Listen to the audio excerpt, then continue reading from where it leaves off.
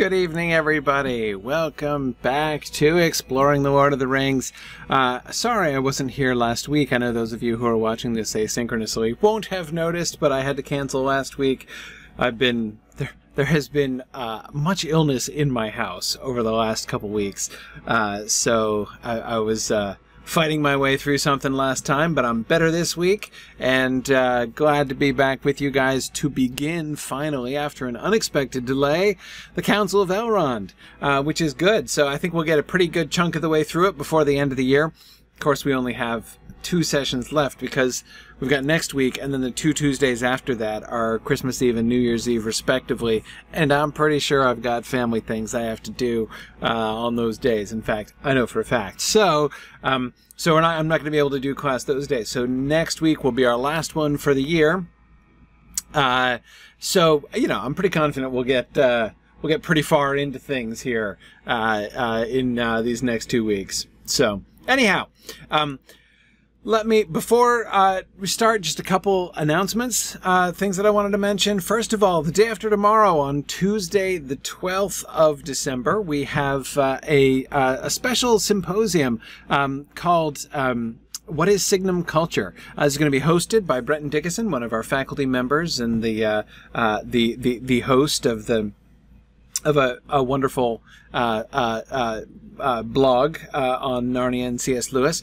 Um, so anyway, I I would recommend that. It's a, a really fun discussion. Going to be uh, Signum students and staff and uh, and faculty just kind of talking about what makes Signum different. Signum is. Uh, I, you know, of course, in many ways, such an interesting experiment, and uh, we are, you know, have been working to to build an online community, and uh, uh, you know, both within our institution, you know, as far as the the uh, uh, the relationship of our, our staff members with each other and our faculty and staff and our whole team together, um, and then um, uh, and of course our student community and our our larger uh, community and everything. So um, it's to be, uh, and I'm, I'm going to talk for a little bit, but only for a tiny little bit. So this is not going to be like me talking about what I, uh, or not just me talking about what I wish Signum culture to be, but this is really something initiated by other folks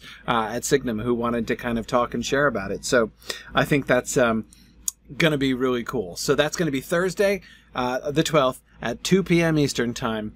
Uh, and you can go, the uh, Druid's Fire just posted the link in Discord and in the Twitch chat I see. Uh, just go to signumuniversity.org uh, slash event and you can see uh, the link to that so you can register for that. We'll also broadcast that on Twitch as well. Um, so the, that's one announcement. Second thing is we are doing a special. We're doing a, a, a, a special on gift certificates. So if you wanted to get a, a, gift certificate for an anytime audit registration, if you would like to give the gift of uh, a, Signum course, the content of one of our Signum courses, uh, to someone that you know who you think would really enjoy one of our courses, you know, somebody who would like to learn Old Norse, somebody who would like to, you know, get one of our uh, discussions, you know, like maybe Amy Sturgis's, uh, you know, uh, science fiction survey, maybe, uh, you know, one of my Tolkien's poetry class, who knows? There are all kinds of classes you can go through and pick any course, almost any course, uh, any course that has lecture material um, in the Signum catalog and uh, you can give that uh, as a gift. So what you do is you give a gift certificate, and then the person who receives the gift certificate can choose anyone that they want. Um, so, and it is also true, you can get the gift certificate and then use it yourself if you want to do that as well. There's uh, no rule against uh, self gifting uh, gift certificates. Uh, that'll be pretty cool. So uh, anyway, so that's uh, that's definitely that's another thing that's going on that'll that'll run through Christmas time. Uh, so uh, uh, definitely act on that now. Uh, it's an excellent last minute Christmas gift.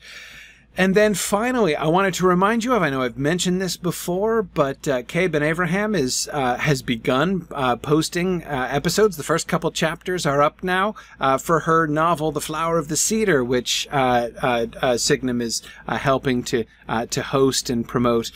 big fan of Kay and of her writing and of her work. Her reading is absolutely gorgeous.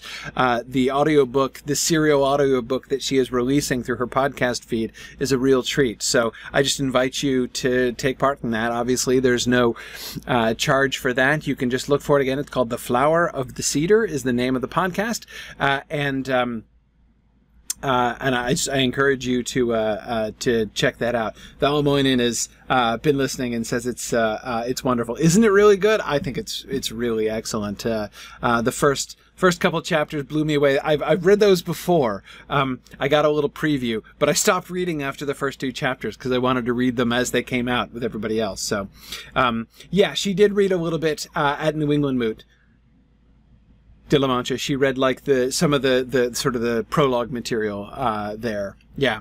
Uh, it's a it's a it's it's a lovely lovely book and and as I say her if you like audiobooks uh, her reading is is gorgeous I could listen to her read all day so um, just wanted to uh, remind you of that it is only available as an audiobook right now Veronica um, after the the release is complete. So she's going to read a chat. She's going to release, uh, I think, a chapter a week or so. Um, uh, during you know over the course of the this next year, uh, and then when the book uh, has when all of the book has been released, I think there will be a print run as well for people who would like to have a print copy as well. Um, but uh, but yeah, she decided that she was uh, going to do this sort of experimental alternative route of uh, publishing it as a serial podcast, uh, a serial audiobook uh, initially, which I think is really really fun. Um, so anyway, just wanted to draw your attention to that uh, to that again. Um, Let's Arden Cran is asking, is there Signum merch we can buy to show our support? Yes and no. We don't have an online store right now, though that's something that we're kind of working on. Um, but uh, I do. The primary place to buy Signum merch is actually at our regional moots. At our regional moots, I actually bring along with me uh, a uh, a big suitcase full of Signum merch.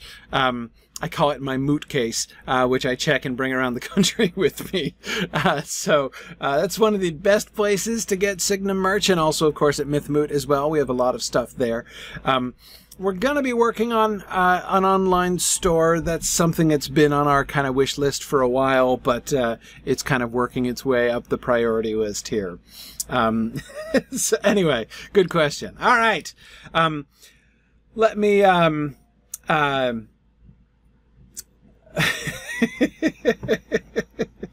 yes, sorry. I know it's a really it's really a, a bad pun, but it's kind of fun.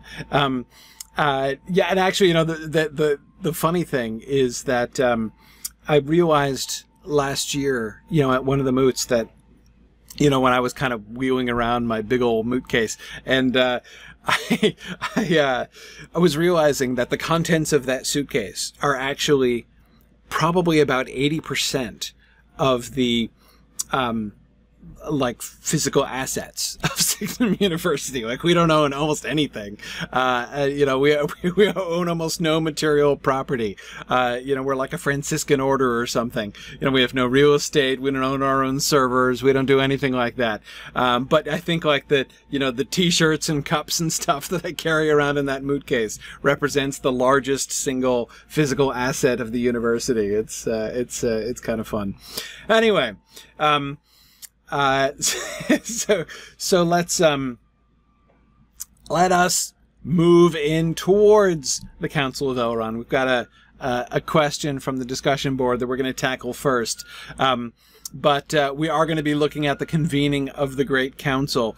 Um, and uh, a question I want to come back to, uh, maybe not right away, but uh, the title of this chapter uh, is kind of interesting. Why is it called the Council of Elrond. Why, why, why of Elrond specifically? I mean, he does sort of preside over it, um, but it's kind of interesting. Um, anyway, we'll um, uh, we'll uh, we'll think about that and look at that as we sort of move along. Um, it is his house. I agree. It's his house, uh, and that kind of gives him like a sort of bragging rights, I suppose. Um, but um, it still strikes me as well. I don't want to say odd because I don't necessarily think it's like weird. I just think it's interesting. Um, uh, but uh, okay. Anyway. we will. I want to. I want to just. I want to kind of throw that question out there for us to be thinking about as we go through. You know. So let's mull this question over over the course of the uh, of the next year. See, Zephin, the Council of Rivendell is kind of what I would have expected, honestly. Right. Um, it's not uncommon to name a council after the place where it happened. Right. Um, yeah. So anyway, whatever. We'll we'll we'll we'll think about this as we go. But first, uh, question from uh, Storied Past, really more of an observation uh, from Storied Past, but I thought it was it was it was very interesting. Um, Storied Past is just was saying that he had just gotten up to the passage with uh, Bilbo and Frodo in the ring in the Hall of Fire, and um, was thinking about what uh, the, sort of the motivations behind Bilbo's reaction, and he was he began by thinking about the parallel to the mo so so a parallel moment, the moment when Bilbo is sort of like saying put the ring away, right? When he is turning away from his desire for the ring, the desire that was clearly drawing him to say, "Hey, can I have a look at the ring?" right? And then he sees what happens to Frodo and he says, "I understand now, put it away." Right? So that moment when Bilbo is turning away from his object of desire and he was and so Storied Past began by paralleling that with the moment when he gives up the Arkenstone in The Hobbit. Um, which was very much an object of desire for himself. Remember the powerful desire that he feels for the Arkenstone when he pockets it at the beginning, right? When he first finds it, uh, and thinks that he would rather have this than even if he could have nothing else in the entire hoard, right? Um, but then he gives it up and why does he give it up? He gives it up in order to stop the war, in order to prevent the suffering and death of the people around him. So he goes on and says, empathy seems to be a driving force in all of Bilbo's life. He can succumb to desire and is perfectly willing and able to refashion the truth afterward to make himself look better. See the story of the birthday present, and even the story he tells himself when he first takes the Arkenstone. That is, remember, he tries to justify it by thinking like, you know, I'll set that against my share that's due me, right? He knows it, Thorin really wants that, but kind of talks himself into the vague idea that he, like, that it's okay for him to, for him to take it and keep it. And on his own, he is perhaps never able or willing to change or even see it. So it's again the, the, these kinds of lies that he tells others and and and tells himself um, they they all seem to they they seem to stick with him. Um, and I, I, I agree. See Rivendell, where the first thing he does is ask to see the ring because he hasn't really listened to anything that any of the wisest people in Middle Earth have been trying to teach him for 18 years. Agreed. Agreed. But when push comes to shove, and he sees that other people are suffering, Gollum, Thorin, Frodo, he breaks free and makes uniquely brave and noble choices.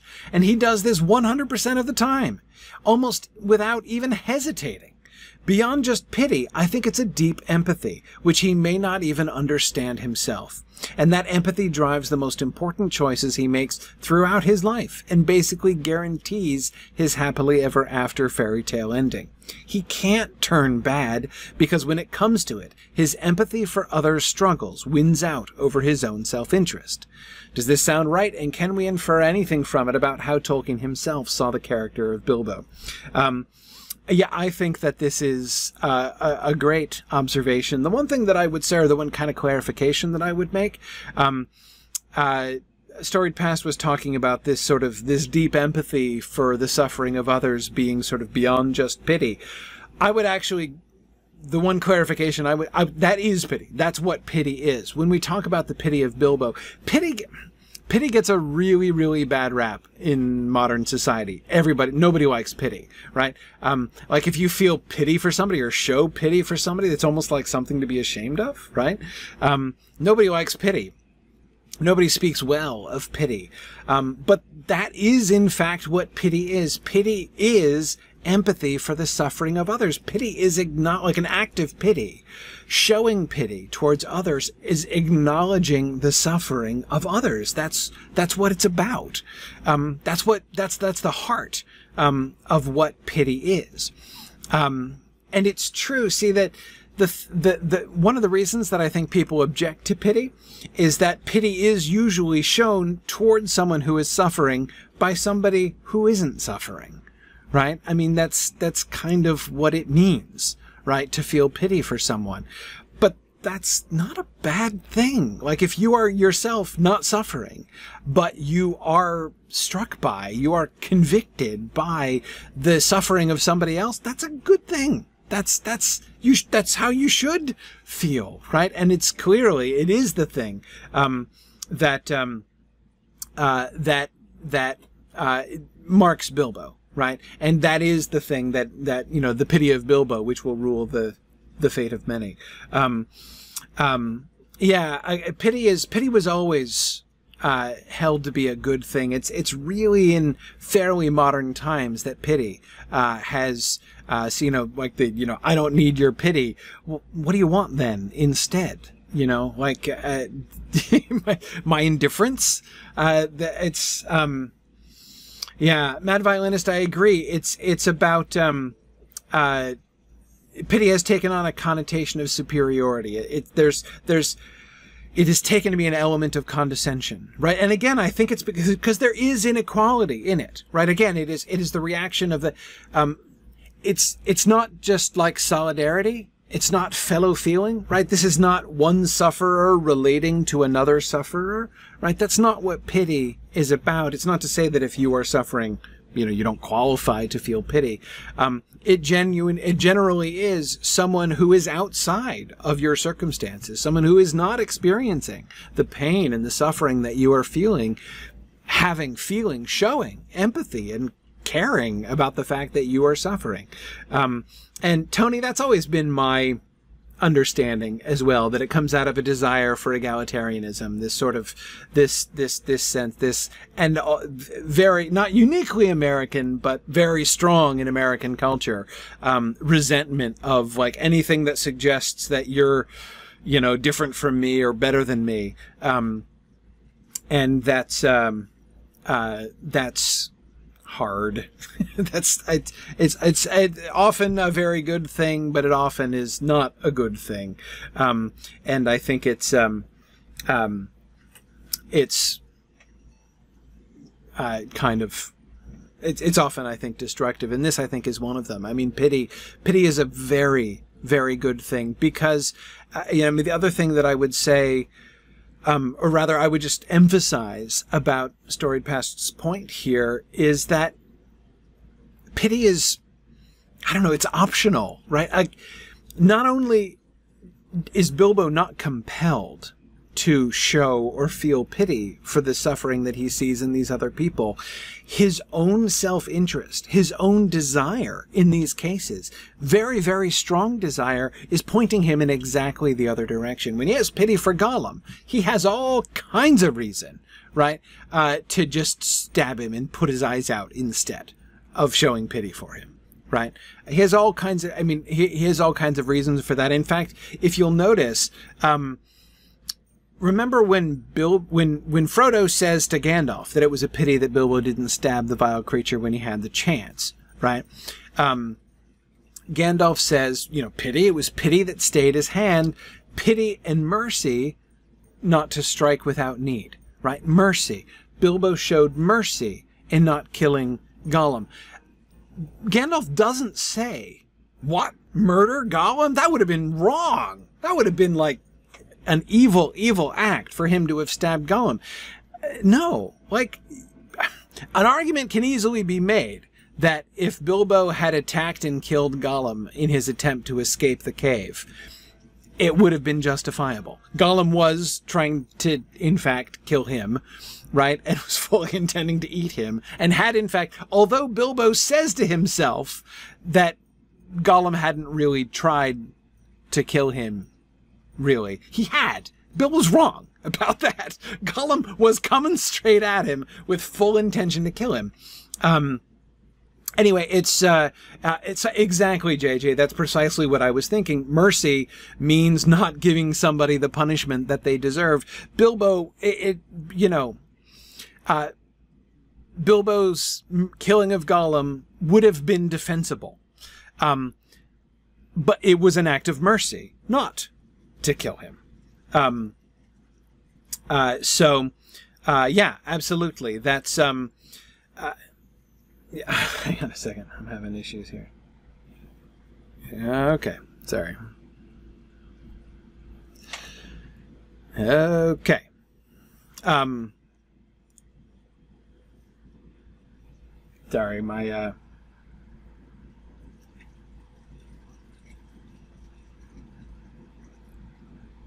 There we go. All right, my phone was suddenly having issues. Um.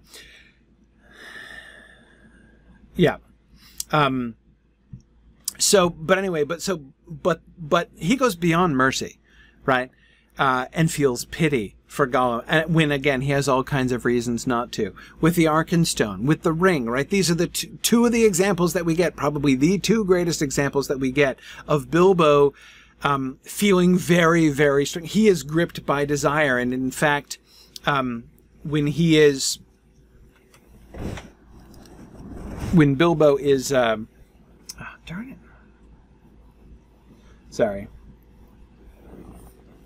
Uh, when Bilbo is is uh, with the Arkenstone, um, when he gives the Arkenstone away, he's fighting off the dragon sickness. The dragon sickness is affecting everyone. He is the only one who succeeds in throwing off the dragon sickness, and it is his pity. It is his desire uh, to prevent the suffering of others, even those whom he suspects are not going to be pleased with him and who in fact immediately afterwards tries you know uh, threatens to throw him to his death um, so again his his pity is it's not only not automatic it's it's extremely costly in all of those all of those three times with Gollum with Thorin and with Frodo um, Bilbo's pity is very difficult and very costly, and yet he sides with his um, his empathy. Right, he sides with the, uh, you know, he, he kind of takes the side of the, the the the suffering of the people. So I agree that is that is his impulse, and it is, it's um, I don't know, it's kind of easy, I think. So, Storied Past, I was really grateful for your comment because I think this really does emphasize a very, very important point about Bilbo. And you're right. He's got a 100% ratio here. I mean, does he ever have this kind of an opportunity? Does he ever see the suffering of somebody else like this and not react in this way? Even in these remarkable, heroic ways, right? I mean, he, he, puts all of the rest of them at the Battle of Five Armies to shame, right? He does better than everybody else. The Elven King, Bard, Thorin, all of them, right?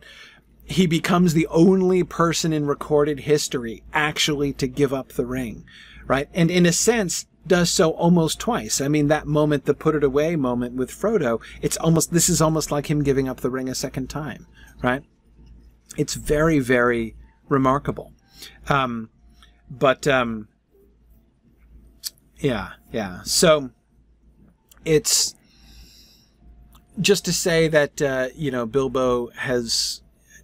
So I think re-emphasizing the significance of that pity and what that tells us about his character is, I think, uh, an excellent and really important thing. Um, yeah, good. Um,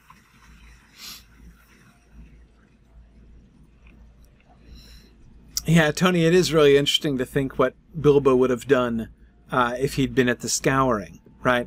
And, you know,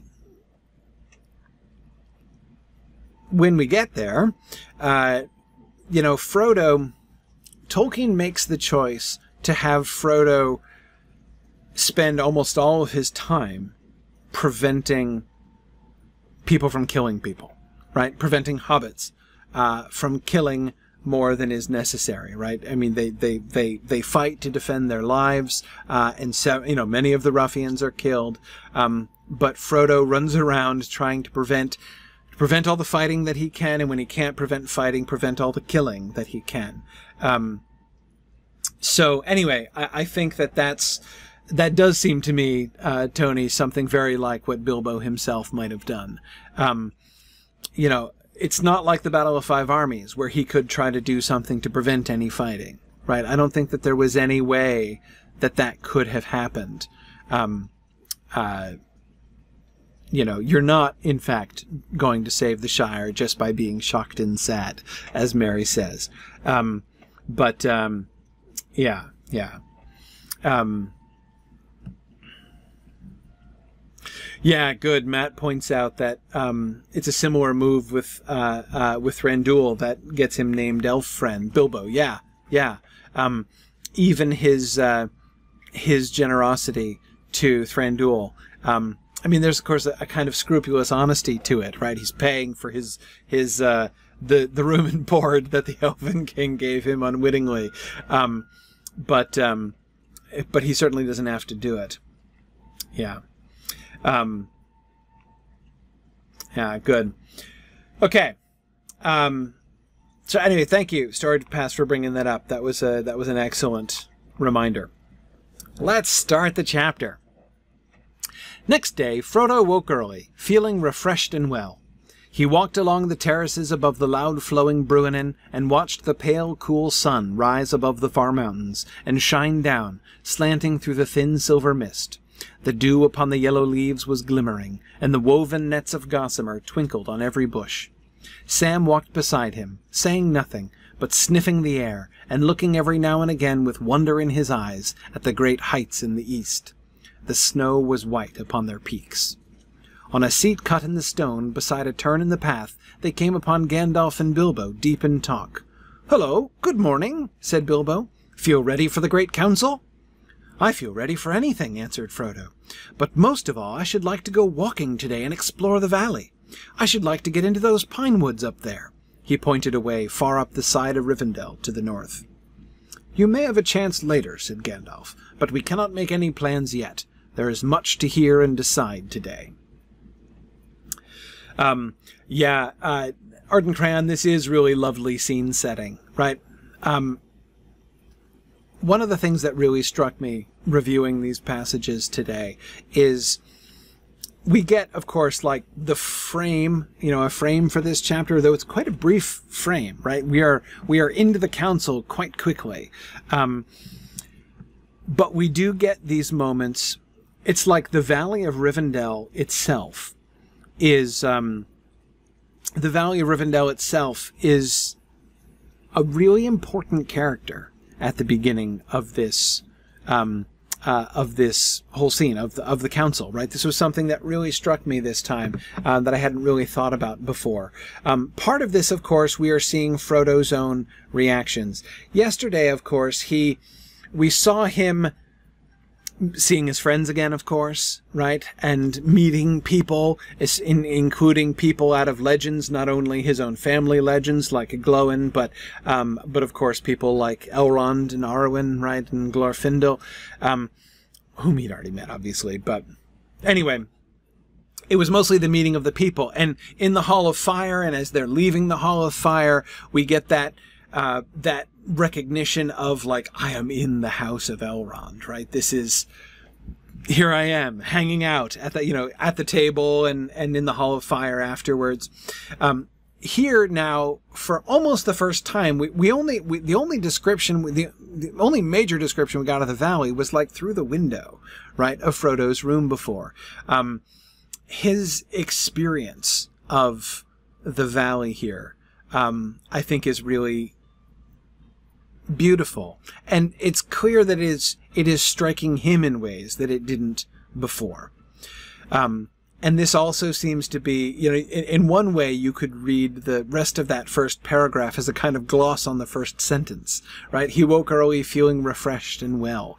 Um, remember that one of the chief symptoms of his previous illness, right, his Morgul knife induced illness, was that grayness that was uh, coming between him and the world, between him and his friends, was one of the chief emphases. But he was unable to see the world around him. Now uh, he is seeing the world around him in great detail, and of course he is surrounded by uh, by by peacefulness and beauty.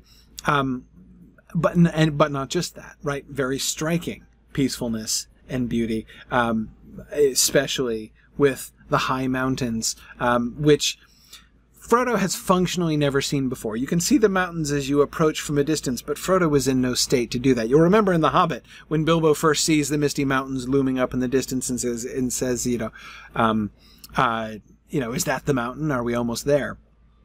Uh, Frodo doesn't have that experience because he was already under the uh, the influence of the Morgul blade uh, at that point.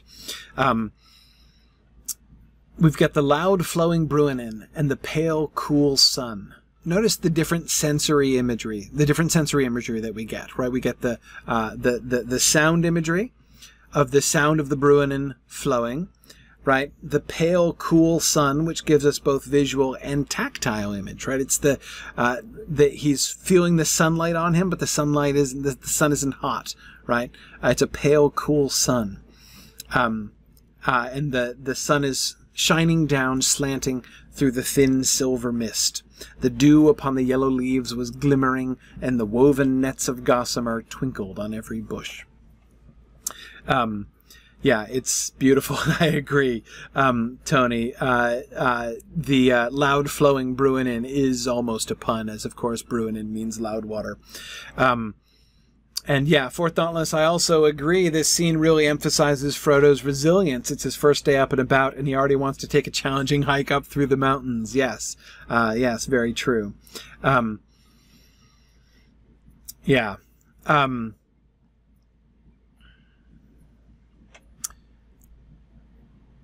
notice that many of the things that Frodo is noticing are things that are, in a sense, familiar, right? That is, the morning sun, uh, the silver, the thin silver mist uh, in the very beginning of the day, uh, the dew upon the yellow leaves, the woven nets of gossamer twinkling. Remember, we got the reference to the uh, the the spider webs catching the mist in Buckland as they were leaving, right? When they were leaving before the break of day while it was still dark. Uh, in Buckland, we also had um, the uh, the nets of the uh, the spider webs catching the, the droplets of moisture and showing up silvery there. Um, so again, the, my, my point is this: it's it's it's very beautiful. Some of that beauty is beauty just like you would see in the Shire, right? But then, like Sam, you look every now and again with wonder in your eyes at the great heights in the east, right? You're surrounded uh, by the mountains. This is not just a morning stroll in the Shire. Um, this is a morning in the um, uh, in the valley of Rivendell. Um, yeah, yeah. So Feel ready for the Great Council. Frodo says, Most of all, I should like to go walking today and explore the valley. Now, I do agree with Fourth Dauntless that this shows how quickly uh, he is recovering, right?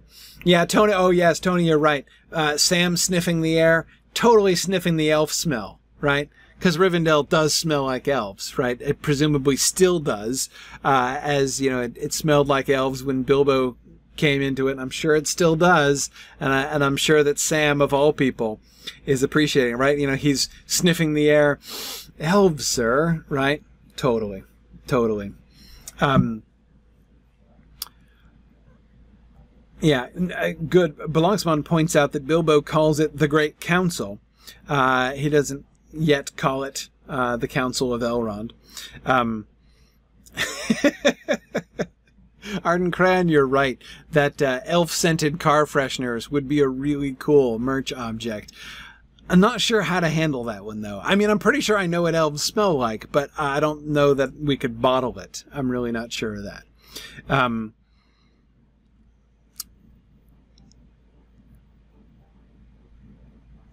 Gandalf's comment, we cannot make any plans yet, is interesting too. Um, is Gandalf suggesting that there's a non-zero chance that they're going to like leave straight after the council? I wonder, right? We cannot make any plans, or is he just preparing Frodo to say like, um, Frodo's words are, um, um, Frodo's words are sort of the words of like a vacationer, right? Uh, like somebody who is like at the resort for the first, you know, on, on, on the first morning and thinking about the things that he would really like to do while he's here. Um, are Gandalf's words designed to basically plant the idea in Frodo? Um, don't, um, don't start thinking like a tourist yet, right? Uh, you might still be on a business trip after all. Your your job might not be done. Um. Yeah, yeah, um, yeah. This is not a Hobbit walking party. exactly, exactly. It doesn't say it in those words, but uh, but that does seem to be the the the kind of implication there. Um. Let's keep going. Look at how Rivendell continues, the valley continues to be the focal point. Suddenly, as they were talking, a single clear bell rang out. That is the warning bell for the Council of Elrond, cried Gandalf. Come along now. Both you and Bilbo are wanted. Frodo and Bilbo followed the wizard quickly along the winding path back to the house. Behind them, uninvited and for the moment forgotten, trotted Sam. Gandalf led them to the porch where Frodo had found his friends the evening before. The light of the clear autumn morning was now glowing in the valley. The noise of bubbling waters came up from the foaming riverbed. Birds were singing, and a wholesome peace lay on the land. To Frodo, his dangerous flight, and the rumors of the darkness growing in the world outside, already seemed only the memories of a troubled dream, but the faces that were turned to meet them as they entered were grave. Um, okay, so it's Gandalf who names it the Council of Elrond, right? Um, that is the warning bell for the Council of Elrond, says Gandalf with capital letters, right? Like Gandalf has already titled it, right? Um, yeah, yeah, and for Dauntless, you're right. Tolkien reminds us that Sam is still trotting along behind, right? Uh, everybody else forgets about him, but uh, uh, but we are reminded that he's still there. Um, Elrond is certainly calling the council, and he is chairing the council. Um, but uh, one of the things that I can't help but think of here is that there's almost a, a kind of uh, there's almost a pun here potentially right? Uh, that is a council pun right? Um, the everyone has come to seek the council c o u n s e l of Elrond right? They've all come to Elrond for advice. Boromir explicitly right? Thranduil has come, or, or sorry, Legolas has come from Th- Thranduil with a message. Um, uh, Glóin has come, right, to ask Elrond for advice. Um, uh, you know, to seek the the uh, a haven in Rivendell and you know uh, uh, uh, further advice on what to do was Frodo's initial quest, right, that he agreed on with Gandalf. Um, so in that sense, Elrond is the natural focal point more than just being, you know, the host of the festivities uh, on that particular day. Um, so in that sense, I think it, I think it does. I mean, I'm not saying it's nonsensical that it's called the Council of Elrond. I just think it's interesting. Anyway, okay. Come along now. Both you and Bilbo are wanted. Um, and they follow him along the winding path back to the house. Sam trots along behind.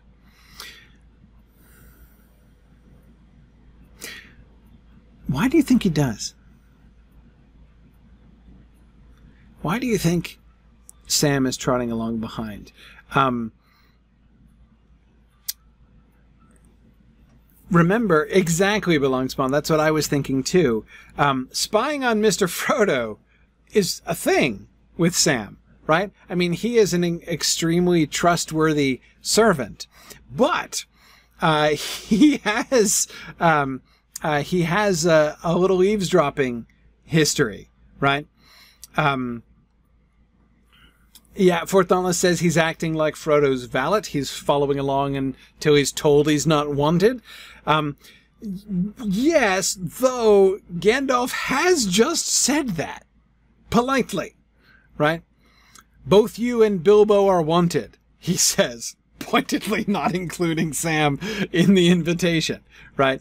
Um, uh, that's, uh, you know, Gandalf has in fact just said, uh, yeah, he did not, he specifically did not say that Sam is also, uh, Sam is also wanted in this. Um, uh, now you're right, mad violinist servants are used to not being specifically mentioned. Um, uh, he's got deniability. It's fine. Like I'm not, um, um, yeah, he's he's not wanted but not forbidden, Mudmore. Yeah, it's, it's true. He's not been explicitly barred uh, from attendance. Um,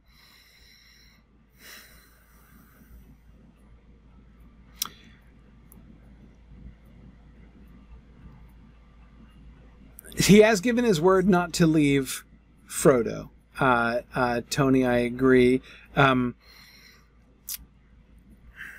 well, we'll come back to this question when Sam does finally contribute, right, to the council and is discovered. Um, but um, yeah. Now Bruinier points out that, or asks, did Gandalf know that Sam would follow? I think that's a really good question. Um,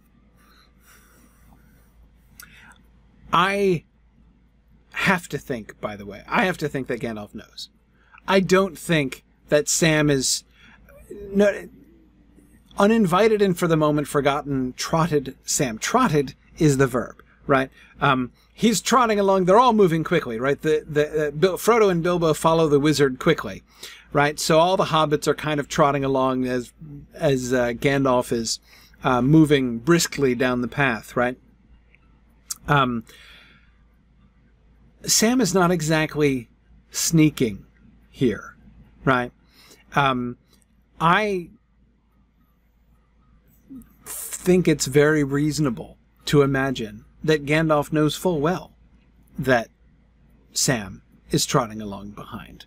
Um, he just came along and says, Gandalf, right, had just said, okay, come along now, both you and Bilbo are wanted and made no provision for Sam, right? Didn't. I mean, again, does he not? Again, I think he notices. I think that Gandalf does not mind at all Sam being present here. Um, yeah, yeah. Um, Mike says, I will never hear trot and not think of wooden shoes ever again in my life. Yeah, yeah, true enough. True enough. Um, Yes, my theory is that Gandalf certainly knows that Sam is coming along to the council. And I can't imagine that Elrond is unaware of Sam's entrance. Again, I don't think Sam is like, you know, experienced conspirator he may be. You know, ninja spy Sam is really not necessarily. Um, so yeah, yeah. Uh, he won't call attention to his own intelligence agent. Yeah, uh, perhaps not. Um,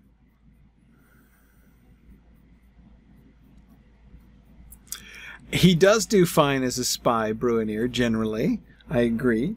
Um, uh, Zephin is wondering, is the uh, he was summoned and you were not line potentially more hobbitry from Elrond? increasingly, uh, Zephin, yeah, that's kind of how I'm interpreting that line. Um, uh, look what happens when they get there. Um, well, before we do that, well, no, we'll get to that at the end. We'll come back to this in a second. No, actually, let's skip ahead to it. Look at the end of the paragraph when they get there. Um, but the faces that were turned to meet them as they entered were grave.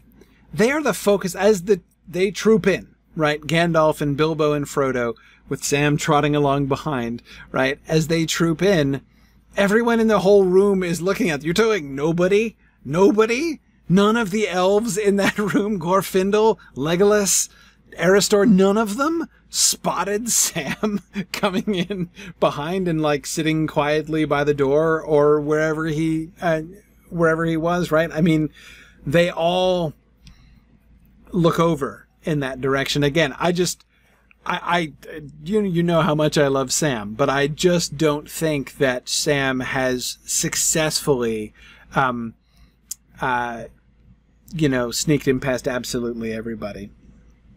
Um I just, I just, um, I don't buy that. But anyway, look at the, the, the, the emphasis on the peace of the valley again. Gandalf led them to the porch where Frodo had found his friends the evening before. So the place of reunion, right? The place where he had run back into Merry and Pippin again, um, where Pippin was saying uh, unwise things and Gandalf was scolding him. That's where the council is being held. Um, and that's itself an interesting kind of conjunction. Uh, Rivendell is presumably a fairly large place. Um, there's no, presumably, absolute necessity for them to double up locations, right? For, for this to be, I mean, he could have decided to place the council in a some kind of council place that Frodo hadn't seen yet, as we know he's not seen a whole lot of Rivendell yet, and yet it's not it's in one of the few places he's already been to and the one which was associated with happiness reunion right? The celebration of uh, you know sort of the resumption of their fellowship. That seems like a big deal. Um yeah you guys are still talking about elrond's hobbitry. Well hang on. We've not gotten there yet right? We'll get back to that in a few months. Um so that's the first thing that we get that the his merry meeting with his friends is the like geographic context for the council. And then we get the description. The light of the clear autumn morning was now glowing in the valley. The noise of bubbling waters came up from the foaming riverbed. Birds were singing, and a wholesome peace lay on the land. Um, that clause there in the middle and a wholesome peace lay on the land seems to me to be the pivotal part of this entire paragraph, right? The description leads up to that. The light of the clear autumn morning was now glowing in the valley. The noise of bubbling waters came up from the foaming riverbed. Birds were singing. A wholesome peace lay on the land. Right? Notice that it's it's almost like it's something superimposed over the land right? It's like it's it's this is like a value added thing right? Um, it's not just that the land is peaceful. Um, a peace lies on the land and it's a wholesome peace that lies on the land. And then we see uh, further context. So we get the, the description, then we get the, the, the that central clause about the wholesome peace, and then we get to Frodo, his dangerous flight and the rumors of the darkness growing in the world outside already seemed only the memories of a troubled dream. There is something about Rivendell. There is something about this, the beauty and the peacefulness of this wholesome peace that lies on the land, which drives away dark, not just dark things, but dark thoughts. His dangerous flight. So the memories of his suffering, his fear, and his pain, that begins to seem like the memories of a dream. The rumors of the darkness growing in the world outside, so the darkness that lies behind and the darkness that lies ahead, right? Both of those things fade into the background or are sort of smothered. It's perhaps not a good metaphor for what's being what's being described here. I was going to say smothered by the wholesome peace that lies over the land, um, but it's more uh, benevolent than that. Tony, I absolutely agree. This is the influence of Elrond's power, right? Um, remember in The Hobbit, we get this one simple sentence that I find really striking. Um, evil things did not come to that valley, period. Right? Like that's evil things don't come there. That's it's not like evil things are afraid of the valley or evil things generally avoid the valley or um, you know evil things uh, like get super nervous when they're near the valley. Like evil things don't like it's just it doesn't happen. It's not possible. And this uh, that description of Frodo's own internal experience of the morning there in Rivendell shows us that that's even true of evil thoughts, right? Um, dark things don't dark things have no place here, can take no root there. And I agree, Mad Violinist, um, um, and, uh, you know, Matt, as you are uh, suggesting as well, um, we will see differences with Galadriel's ring, right? Um, it's not going to be the same with her as it is with Elrond. Um, yeah, good. Um, Okay.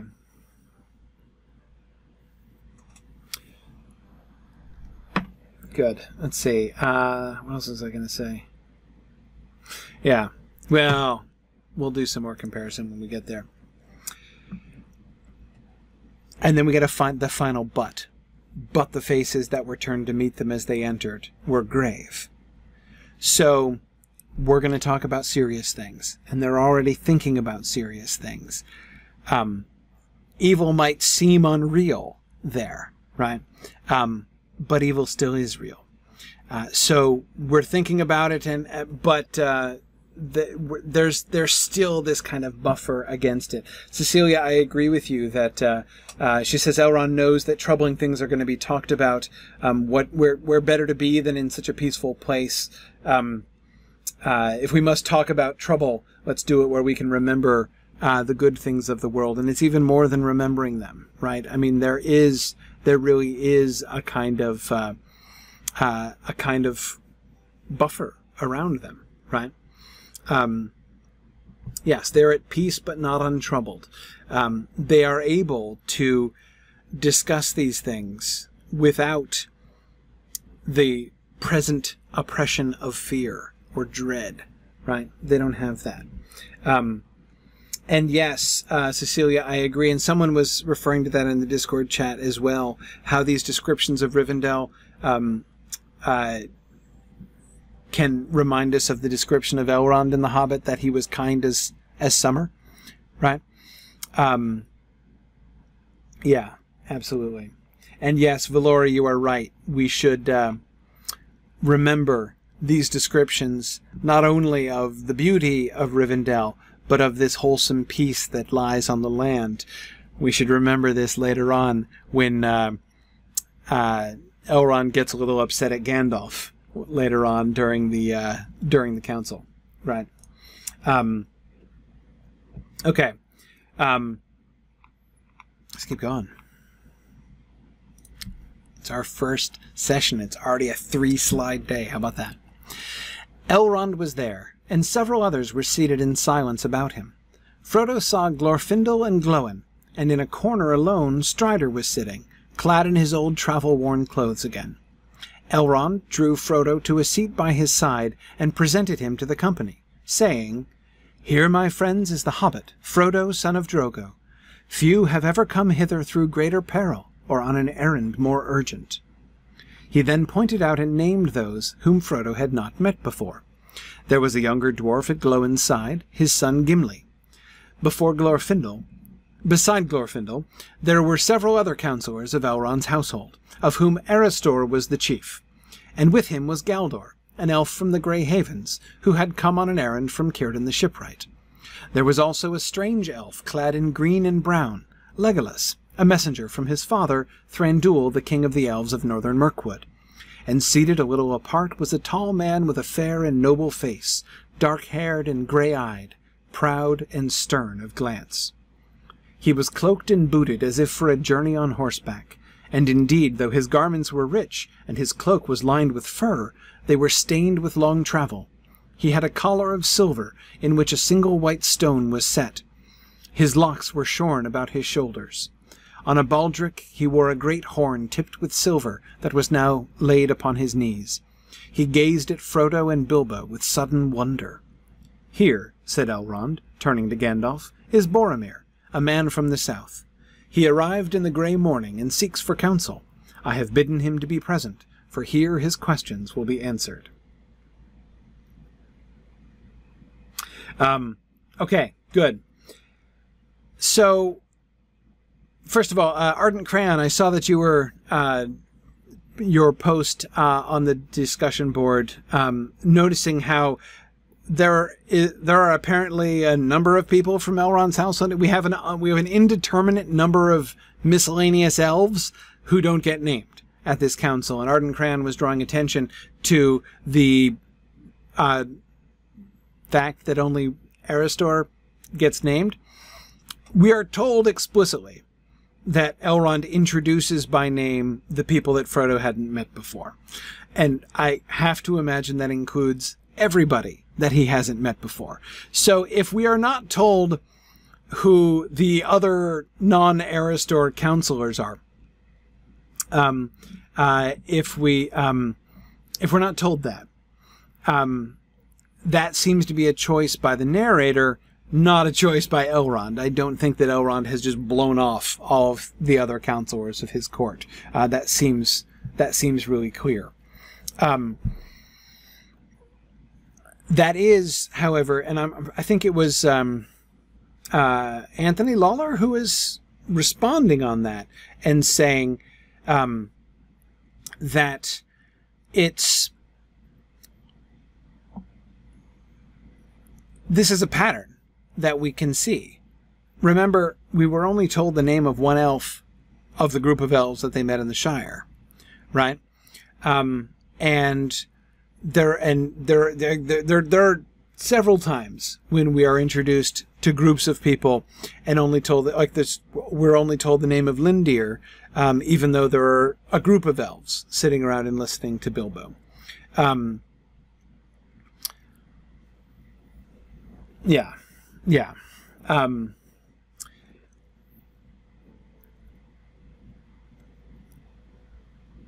thinking about the oh yeah sorry Mudmore I was making a very lame joke there uh, my pun on roll call. Um, Mad is asking me do I suppose if Lindir is there?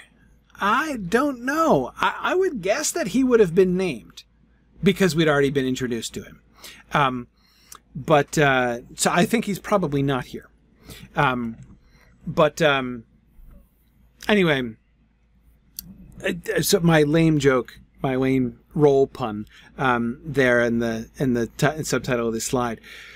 Um, was thinking about the the kind of there's a kind of representative.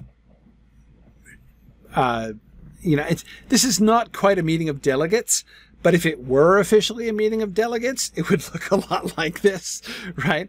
Um, and that's really an interesting thing. It seems to be one of the things that Tolkien emphasizes in his descriptions. And honestly, I would say that seems to me a very good reason all by itself not to mention, not to list the other names as now I'm forgetting.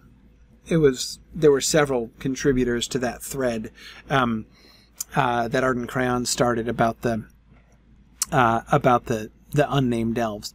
Um, so I forget who it was. Arden Crayon, maybe it was you, um, who was saying that uh, somebody was saying that it's kind of common. It's it's fairly common in things like uh, Norse sagas and things to to be like, and now let us interrupt this story to give you the catalog of the names of the people who were there. Um, and I agree. That is a very common. That's a very medieval touch, and Tolkien specifically doesn't do that, right? Um, I think the reason that there are several reasons I, I suspect for this. Um, but one of the one of the consequences of that choice is that we end up getting more of an emphasis on the individual roles on the again like the each one represents a sort of a different population in a sense right we get Glorfindel and he's kind of in his own special category right? So we got Elrond and Glorfindel, and they're in their own special category. Then we need somebody else who represents like the elves of Elrond's house, who are not Glorfindel or Elrond, and we get that in Erestor. And then we need another elf from the we, we get another elf from the Grey Havens, right? So we got the we've got the uh, you know the elves of the Havens represented, and we've got an elf of Mirkwood present, and we've got a man from the south present. And we've got Aragorn there on behalf of the Rangers and the Dunedain. And we've got Bilbo and Frodo, so the Shire is double represented, though I guess Bilbo has kind of joint citizenship at this point. Um, um, yeah, so uh, it, it's it's the description ends up reading that way, which would be much less so if we had like an imbalanced long list of names of the people of Elrond's house, right? So let's imagine there are six other, I don't know, I don't know, but let's imagine there are six other elves who are not Erestor who are also present at the council. I wouldn't find that shocking, right? Elrond, Glorfindel, Erestor, and six other dudes, right? So we've got nine elves of Rivendell plus the other people. If you just went down and listed them all by name, we wouldn't have this same Oh, I forgot Glóin and Gimli, of course. Um, but um, uh, but anyway, I, I definitely I definitely think that we would not have that same sense of um, each one uh, sort of coming from a different place in Middle Earth, representing a different little sort of niche of the free peoples uh, of of Middle Earth.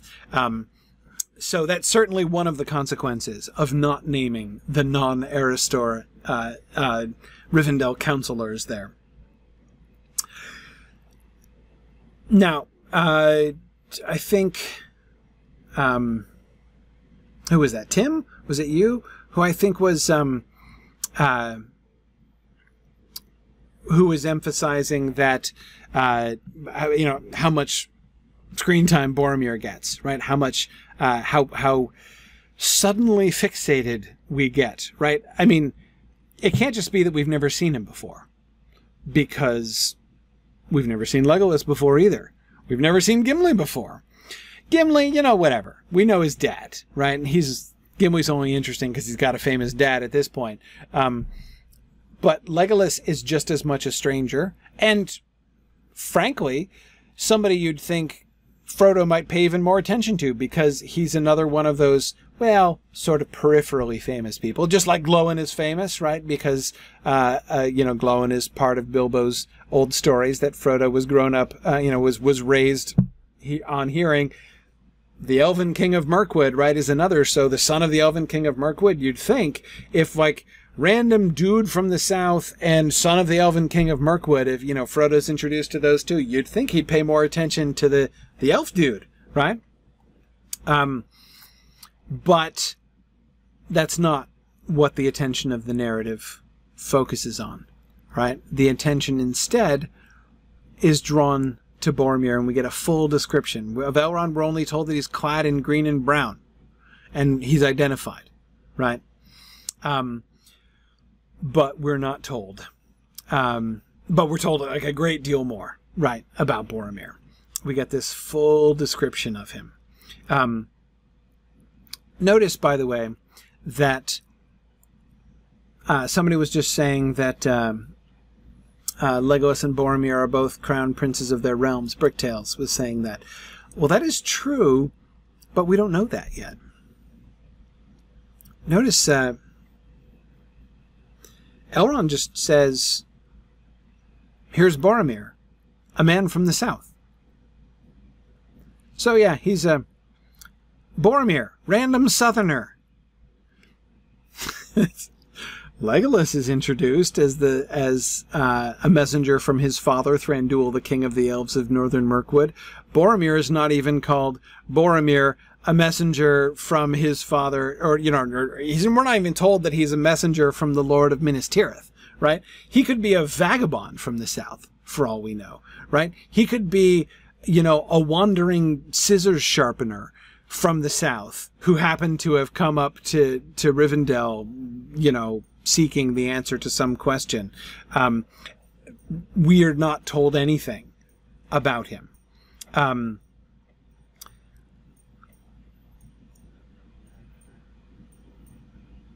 other than that, he's from the South and he seeks for counsel.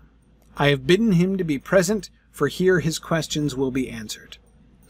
So I invited him, he says. Right. Um, yeah, a couple of you are wondering or speculating, like, did he ask his identity to be suppressed? Uh, maybe. Maybe. It doesn't sound like a very Boromir thing to do, though. Can you imagine Boromir being like, dude, I'm trying to keep a low profile here. If you could just not mention the fact that I am the son of the steward of Gondor, I'd appreciate it. I don't like to draw attention to myself, and I'm above proclaiming my identity in front of strangers. Um, yeah, no. I mean, it's true he doesn't trust foreigners. I agree with that, but um, I, I, I, I, I can't think that Boromir has asked for, you know, Elrond to preserve his identity. Um, so Boromir, he of the stern, of the proud and stern glance, can't be best pleased by this introduction, right? He can't. Um, yeah, okay, hang on. Question. Um, somebody look up in Appendix B. How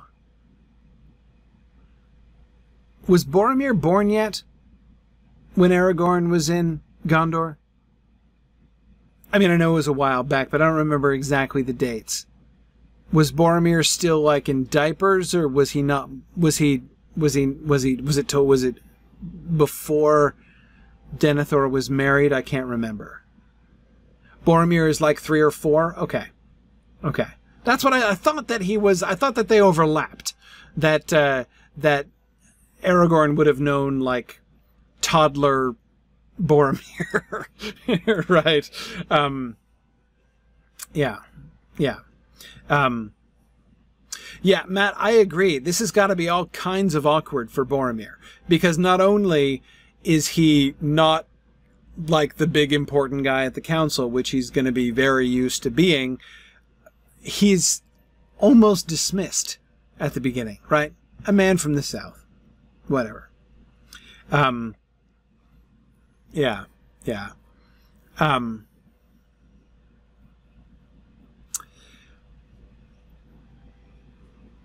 his description. A tall man with a fair and noble face. Dark haired. Ha! Notice that. Remember our fairness discussion? There is a very emphatic use of fair meaning beautiful, right? Not fair meaning blonde, right? Uh, a fair face, dark haired and gray eyed, proud and stern of glance. Um, cloaked and booted, as if for a journey on horseback. So he's just like just gotten off his horse recently. You know, this is this is like so. You know, sitting at the table here um, uh, to um, have the council is like the first time he's sat down since his since his journey, right? Um, okay, Boromir was two. Great. Okay, there we go.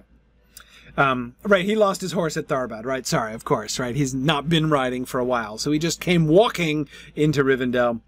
Um, uh, yeah, now Arden Crayon, that's a really good observation. Um, the way Boromir is introduced makes him seem like Strider 2.0. Yeah, a little bit. It is a little bit reminiscent of the description of Strider that we got in the common room of the Prancing Pony. Um, seated a little apart was a tall man with a fair and noble face, except he's hotter than Aragorn, right? Um, he has a beautiful face at the beginning, beautiful and noble. Aragorn did not look, Strider did not look noble when he was sitting. He looked sketchy, not noble. Um, um, and proud and stern of glance. Good. Kurtzimus is reminding us that while Strider's gl- glance was keen in the Inn at Bree, um, uh, Boromir's is stern, right? Um, yes. So Bruin here, I'd certainly agree. Boromir, though he is also, you know, looking weather worn and travel stained like Strider, right? Um, he does look more more uh, more kingly.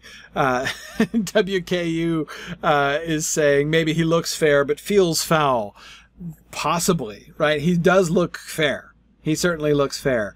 Um, the pride and sternness of his glance, I don't know if that quite translates to feeling foul. I guess we'd have to ask Sam, who's still, you know, doing his uh, ninja thing by the door.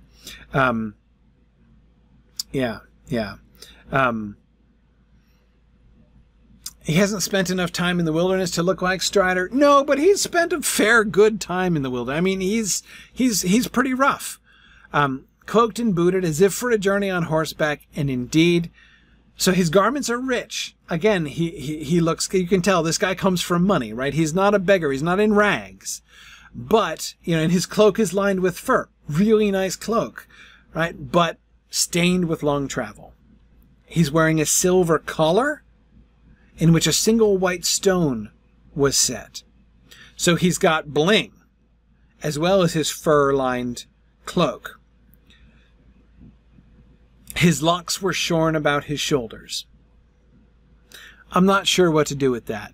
That is to say, it helps us picture him.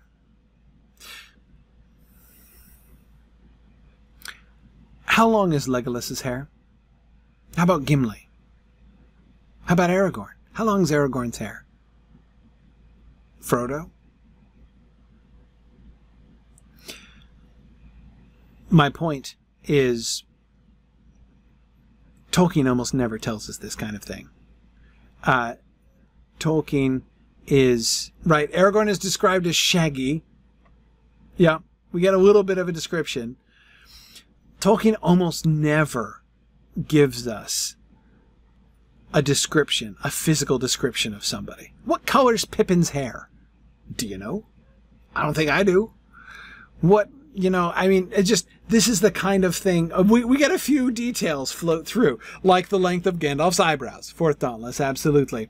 Or, um, and yes, the fact that Rin, that, as Rin Roos points out, that, uh, that Frodo's hair looks like a woolen mat, right? Yeah, that, that's like a, an, an interesting indirect, uh, piece of description, or the description that we get from um, uh, from Butterbur's letter, right? Um, uh, you know, we don't um, we don't we don't really know. Uh, we're never really. My point is just this is not the kind of thing that Tolkien tells us generally. He gives us intimate description of landscape. He rarely gives any description of people. Um, therefore, I find myself really not sure, um, really not sure what to do with the description of Boromir's hair. His locks were shorn about his shoulders. I agree that the emphasis is on the cut, right? Um, the text isn't emphasizing Boromir's hair went all the way down to his shoulders right? He doesn't say that. What is what our attention is drawn to is that his locks are shorn about his shoulders. Um, he, so I think, I think what we're supposed to take from that is not Boromir has long hair. It's exactly that he's well coiffed. Exactly. Boromir looks like he has a barber. right. I don't know what everybody else's hair looks like. Again, although we do we do know that Aragorn's is shaggy, right? Um, but um, uh, but I th- especially in the context, right? Remember that everything else we're being told, including in that sentence, right? The first half of the sentence is about the bling around his throat, and the second half of the sentence is about how his locks are shorn, right? Um, so Mike is asking how can he possibly he hasn't seen a barber in months. Well, sure, but uh, you know, shoulder length hair is is a relatively is a comparatively easy look to maintain. I don't know. Uh, I mean, my hair would look pretty different in months, right, than uh, uh, than it does right now. But uh, you know, um, I'm not sure. But again, in context, it it seems it strikes me as we're supposed to interpret that line as telling us something more about how dapper he is, right? Um, rich garment, cloak lined with fur, collar of silver, locks shorn about his shoulders. On a baldric he wore a great horn tipped with silver that now was laid upon his knees. Right? Um, yeah, Kurtzimus, I, I agree. I, I also think that Boromir wakes up with perfect hair. I think that's clearly I think that's clearly true. Um, Prince Valiant hair. Maybe. Maybe. Um, uh, it is possible. It is possible that he has had a haircut or two along the way. I can't absolutely rule it. I'd be a little surprised. I mean, you know, between the gap of Rohan and uh, and and Rivendell, I mean, I, I, have to think barbers are, I mean, unless he's lucky enough to pass a wandering scissor sharpener, he's not going to find too many people who can cut his hair uh, uh, in there. But, um, uh, but I don't know. I don't know. Um, yeah, I wouldn't go to an Ent for a haircut. I, I definitely agree with that. Um, so yeah, I, I, I don't think, uh, I don't think so. Um, again, I don't think we're supposed to understand that Boromir is a fop, uh, but it seems to be part of the. He's kind of a fancy guy, though. He so in other words, the description of Boromir and Elrond's words about Boromir stand on their heads, right? Um, we're given the description first um, uh, yes, yes, Luke. Uh, perhaps, uh, uh, though I suppose wandering barbers uh, in that part of the world were also under considerable economic stress at that period in history. Um, uh, but anyway, um, uh, so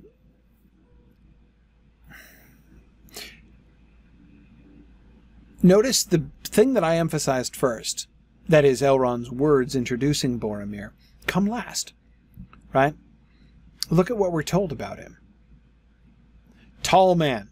That's important in Tolkien, right? Height, fair and noble face, proud and stern of glance, rich garments, fur-lined cloak, collar of silver with a white jewel in it, uh, locks shorn about his shoulders, which I think is fancy. On a baldric, he wore a great horn tipped with silver that was laid upon his knees, right? So he's holding this horn on his lap. I'm not going to say ostentatiously because that's a little biased, but um, he's sort of cradling this horn like it's a big deal. And it's certainly fancy, tipped with silver. That's pretty nice. And it's a great horn. It's huge, right? This is not a small little little horn.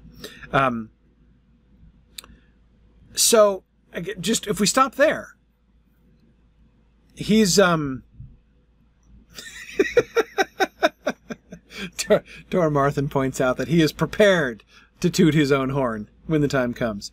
Um, uh, WKU says, you know, he wants to blow it when he's introduced. Um, yeah, maybe, maybe he's getting ready. Um, yeah, it is a mark of his office. Um, now, nobody in the house except probably, except certainly Aragorn um, and and uh, Gandalf uh, are going to understand the significance of that horn that he's holding on his lap. Right? Um, remember when Faramir asks Frodo in Ithilien? Was there was there aught of special mark, right, that Boromir uh, bore? Uh, and Frodo immediately says, "I remember that Boromir bore a horn." Right. This is not just Frodo's keen eye for detail, right?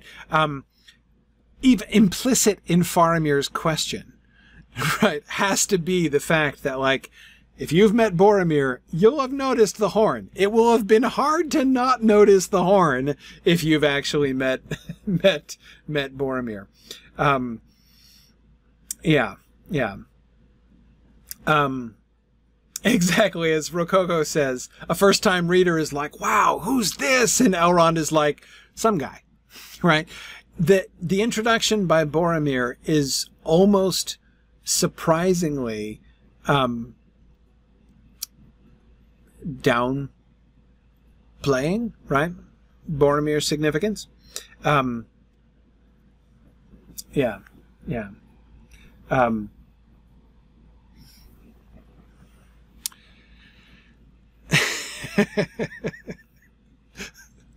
several off-color jokes about Boromir's horn being made, which I shall not repeat. Um, but uh, have I mentioned? Did did you notice my horn? Exactly. That's very much how he's sitting, right? Um, but anyway, um, uh, sorry, JJ was saying the departure of Boromir should really have been titled Boromir blows it. Yes, possibly, possibly so. Um, uh, anyway, so as I say, it's it's interesting that that Tolkien kind of pulls us in two directions about Boromir here. We are led to expect, we are led to perceive, to believe that Boromir is a big deal, right? And he seems to,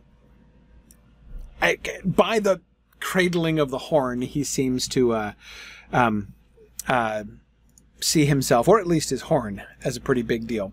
Um, but that is not where Elrond pushes us.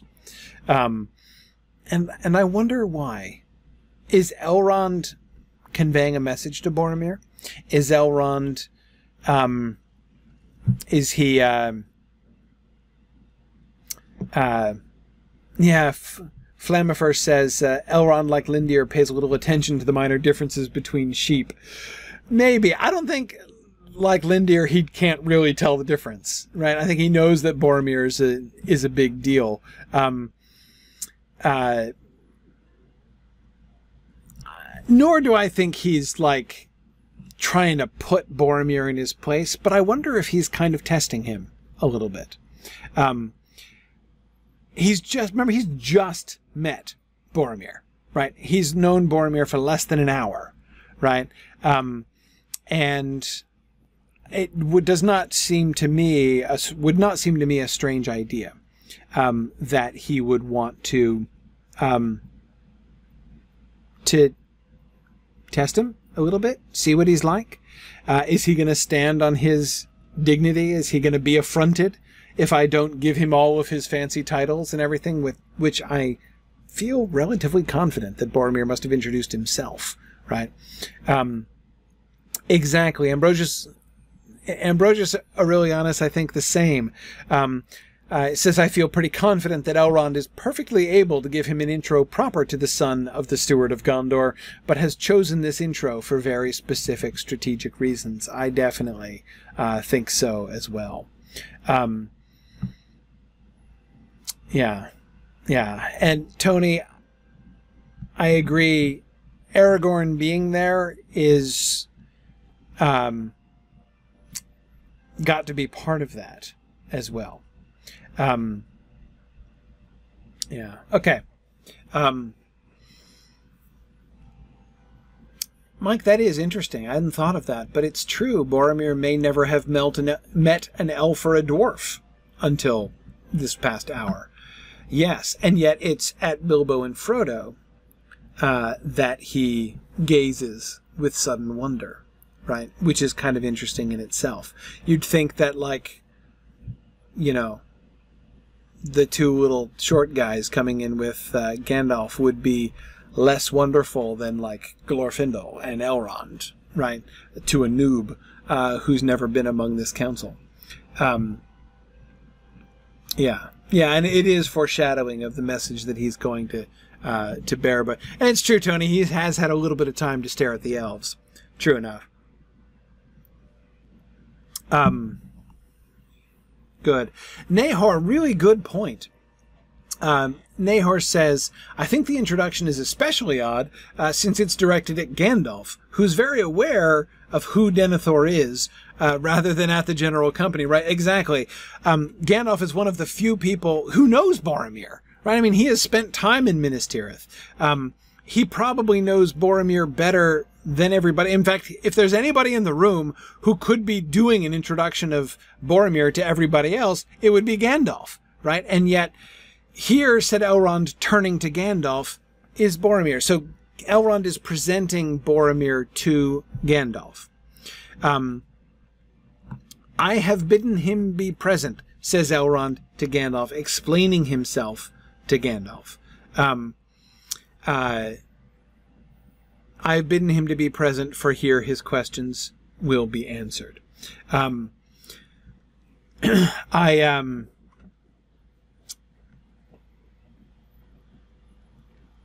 I think this is not targeted at Gandalf. I think this is targeted at Boromir. Um, one of the when I ask myself, what does this accomplish? Like, what is Elrond accomplishing by presenting Boromir to Gandalf. I think the primary thing that he is accomplishing is communicating clearly to Boromir that Gandalf is like the number two here, right? This is his house. This is Elrond's house. This is Elrond's council, right? He is, uh, he seeks for counsel. So he's come to Elrond looking for counsel. And now he is, um, he's making it clear to Born. I don't think anybody else in the room needs to have it made clear to them that Gandalf is kind of a big deal at this council, right? That Gandalf is second only to Elrond uh, at this council. Um, but to Boromir, it would not at all be clear. In fact, given that we know that from what we know or what we're going to know about Boromir's acquaintance with Gandalf down in Minas Tirith, Boromir doesn't think much of him, right? Boromir doesn't have much to do with him. Um, exactly, Tony. That's just exactly it. Whatever Gandalf's status might be in Minas Tirith, um, he's a big deal here, right? Um, exactly, exactly. Well, it's well, yeah. So for Thomas, he he he knows that he's a wizard, and he kind of knows that that's a big deal. Um, uh, but um, but again, he's um, not treated like a huge deal uh, in Minas Tirith, and certainly doesn't seem to be viewed as worth all that much by Boromir himself. Um, Faramir, yes. Boromir, no. Um, yeah, I can't imagine that Gandalf has been treated in quite that way. Was treated in quite that way in Minas Tirith. Um, Matt, exactly. You present the lesser person to the superior person. Um, and I agree, Boromir probably didn't get that sense exactly. Um, and it's true, Tony, that he might have felt licensed to be disrespectful to Gandalf otherwise. I doubt that, you know, Elrond is uh, worried that Boromir is going to, you know, you know, bust out and, um, you know, completely, you know, show flagrant disrespect to Gandalf. But again, a, a very clear message is being sent here. Um, that Elrond, Elrond is showing peculiar honor to, uh, to Gandalf. And, um, it could be, Mike, absolutely, it could be a kindness, um, from Elrond to Boromir to give him these kind of cues. Like, I, I want to make sure you understand how things are going down here right? I want to make sure you understand the decorum of this council because you might not guess that from what you've seen. Um, I think that that is I think that that is possible. Um, there's also it also might be for others' benefit, right?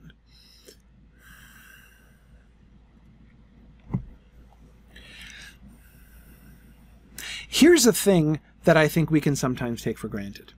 I think that we can sometimes take for granted the fact, or the idea, the conception, that all of the wise take Gandalf super seriously. Right? Um, we know because we've read the books, right? We know that Gandalf is like, you know, in the end, the the leader and general of the whole thing, right? He is Sauron's chief foe in Middle Earth. But that's not obvious to everybody. In fact, that's going to come as quite a surprise to many folks. Exactly, JJ. Gandalf smokes and hangs out with hobbits, right? Um, what's he ever done? Gan- uh, Elrond trusts him. We know that Elrond and Gandalf have a close relationship. Um, Elrond gets it, Galadriel gets it. The others don't necessarily get it. Does Radagast get it? Um, yeah, Denethor doesn't take Gandalf all that seriously. He doesn't, you know, make him beg on the street or anything. Um, but uh, and yes, later we'll find out that that Círdan gets it. But Timo- Gandalf is not showy right? Again think about the difference between think about the the relationship that Saruman has and I don't mean in recent days right? Prior to going bad or prior at least prior to revealing that he had gone bad think of the status that Saruman has maintained. Saruman's relationship with Rohan Saruman's relationship with Gondor right? Becoming the uh, you know taking over at the at uh, at, at Orthanc right? In Isengard. Um, it is a little ironic that the guy known for fireworks isn't showy, JJ. Very true. But it's certainly it's certainly the case. Gandalf has no place. Even even Radagast has got a place, right? He's got Rhosgobel, and yeah, he likes to hang out with animals, and that's pretty humble, but but still he's like the animal dude. Beorn knows him, right? He's still famous in his region and like within his milieu, right? But who's Gandalf? Right? Uh, this wandering wizard uh, dressed in rags who doesn't have a tower and he doesn't have a place and he just wanders around doing what, right? Um, so, um, so yeah, I, I think it's it's. Is it possible that some of the people, Galdor, even Erestor, maybe probably Erestor is in the you know because he's around. But the people outside, uh, uh, you know, would um, would Legolas totally get it, right? Um, I'm not. Uh, I'm not really sure, right? I'm not. I, I wouldn't want to necessarily assume that everyone, like all of the good guys of Middle Earth, are like, oh, Gandalf, like, yeah, he's like super big. He's one of the chief of the wise, right? He's, uh, we should all totally do everything that Gandalf says. Like, I don't think that's necessarily the case. He, he keeps, he keeps a pretty low profile, generally. Um, so yes, the other ring bearers would definitely get it. Um, Aragorn knows him, right, and is his friend. Um, but, uh, but I can imagine some of the elves present being a little bit surprised. Notice it's not like to Glorfindel that Elrond is introducing, is presenting Boromir here, which, you know, if you're Galdor from the Havens, right, you probably come in and you're thinking, well, obviously, you know, this is Elrond's house. Obviously, he's, he's, he's, he's the number one guy here. Glorfindel presumably is the number two guy, right?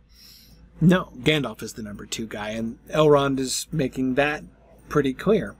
Um, yeah, Gandalf has always been a bit of a disturber of the peace, uh, Matt, and he did uh, help out with the whole Erebor thing, right?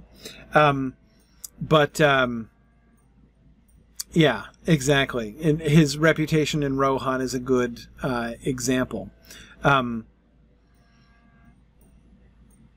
yeah. Um, Yeah. Now, Cecilia, you're right that it's you know like he he will be mourned in, in Lorien, for instance. Um, I'm not saying that the elves don't have any idea who he is at all, right?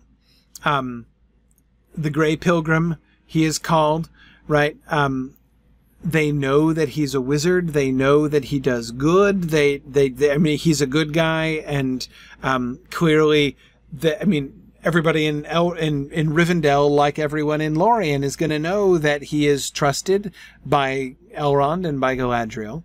Um, uh, what does Galdor know from Círdan? That's a little bit less clear. You know, how much time has has uh, has Gandalf spent hanging out at the Havens? You know, since his arrival. You know, we don't really know for sure. Um, but um, but anyway, so yeah, I mean, they, they, they, they know that, but do they know that he is, like, what a big deal he, I'm not sure that the elves who are mourning him in Lorien after his fall know that, like, the, you know, the chief captain of the opposition of Sauron has just fallen, right? I'm not sure that they necessarily realize that. Do you see what I mean? Again, like we, that Gandalf is, this you know the central character like the main important good guy is something that we can kind of take for granted looking at things from a post you know from uh, uh, knowing what happens in the end and how things work out. Um, but remember it rem- i'm thinking also of when um, aragorn is going to explain this to the captains at Gondor, right in the in the the last debate of the Gondorian captains there at the end of book five, and he's got to say like, okay, I want to make one thing clear up front. Gandalf's the guy, and we're following him, right? So I'm I'm gonna do. I just want everybody to know that I'm gonna do whatever Gandalf tells us to do. So we should all listen to him right now, right?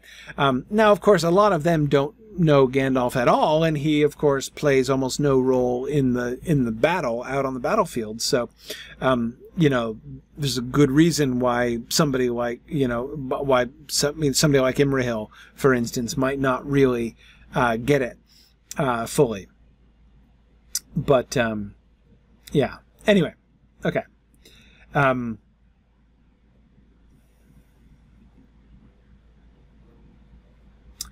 good. Okay, let's see. Um, yeah. Mike says there has to be a little voice in the back of Gandalf's head saying, "Oh no, why did it have to be this one and not his brother?" Yeah, I, have got to think Gandalf is sitting there thinking, "Hmm, Boromir, huh? Uh, that's a little disappointing." You know, yeah, um, yeah, exactly. Druid's fire. Gondor sent the jock, not the nerd. Uh, does seem so. Um, yeah. Yeah. Um, okay.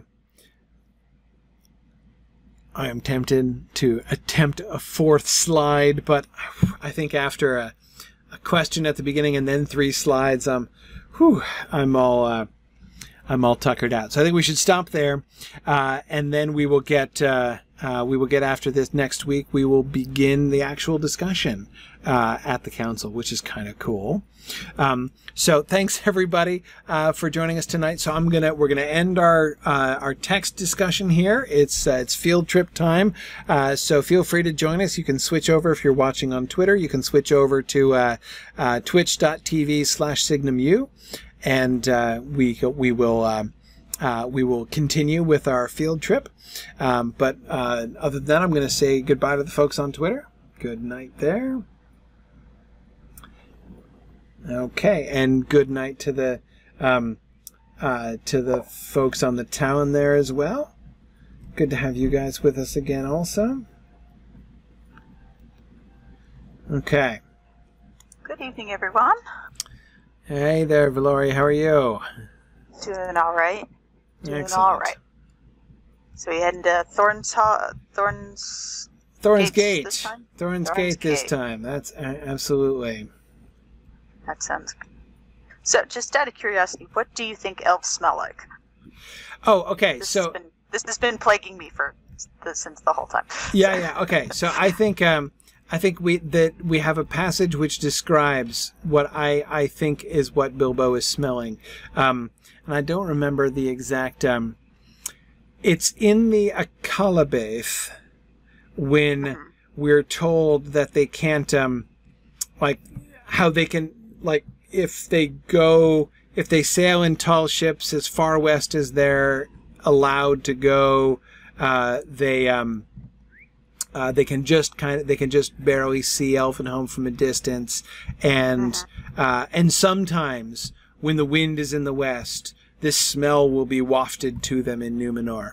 Um, and it's like the, um, the this and and we we get a description of it it's like the you know the scent of flowers and undying meads and and, and all of that um Okay. it's a it's a it's a full sentence describing the scent that wafts over What can I do for uh, you? the the sea to Numenor from Elvenhome. So I'm pretty sure that's what elves. That's what. So you know when Bilbo's like smells like elves, it's just exactly what they would have said uh, in Numenor, basically. Oh wow, that's so it's got like this whole sentence like it'd be on the back of an Old Spice bottle kind of thing. Yeah, yeah, no, exactly. It's uh, it's uh, it's it's Look a at your pretty full elf. description. Look at me. I'm on a horse. Yeah, yeah cool. That's cool. yeah. yeah, Love yeah. it. See, that's that's way more complicated than my answer. I was gonna be like, it smells smell like pine tree and baby powder.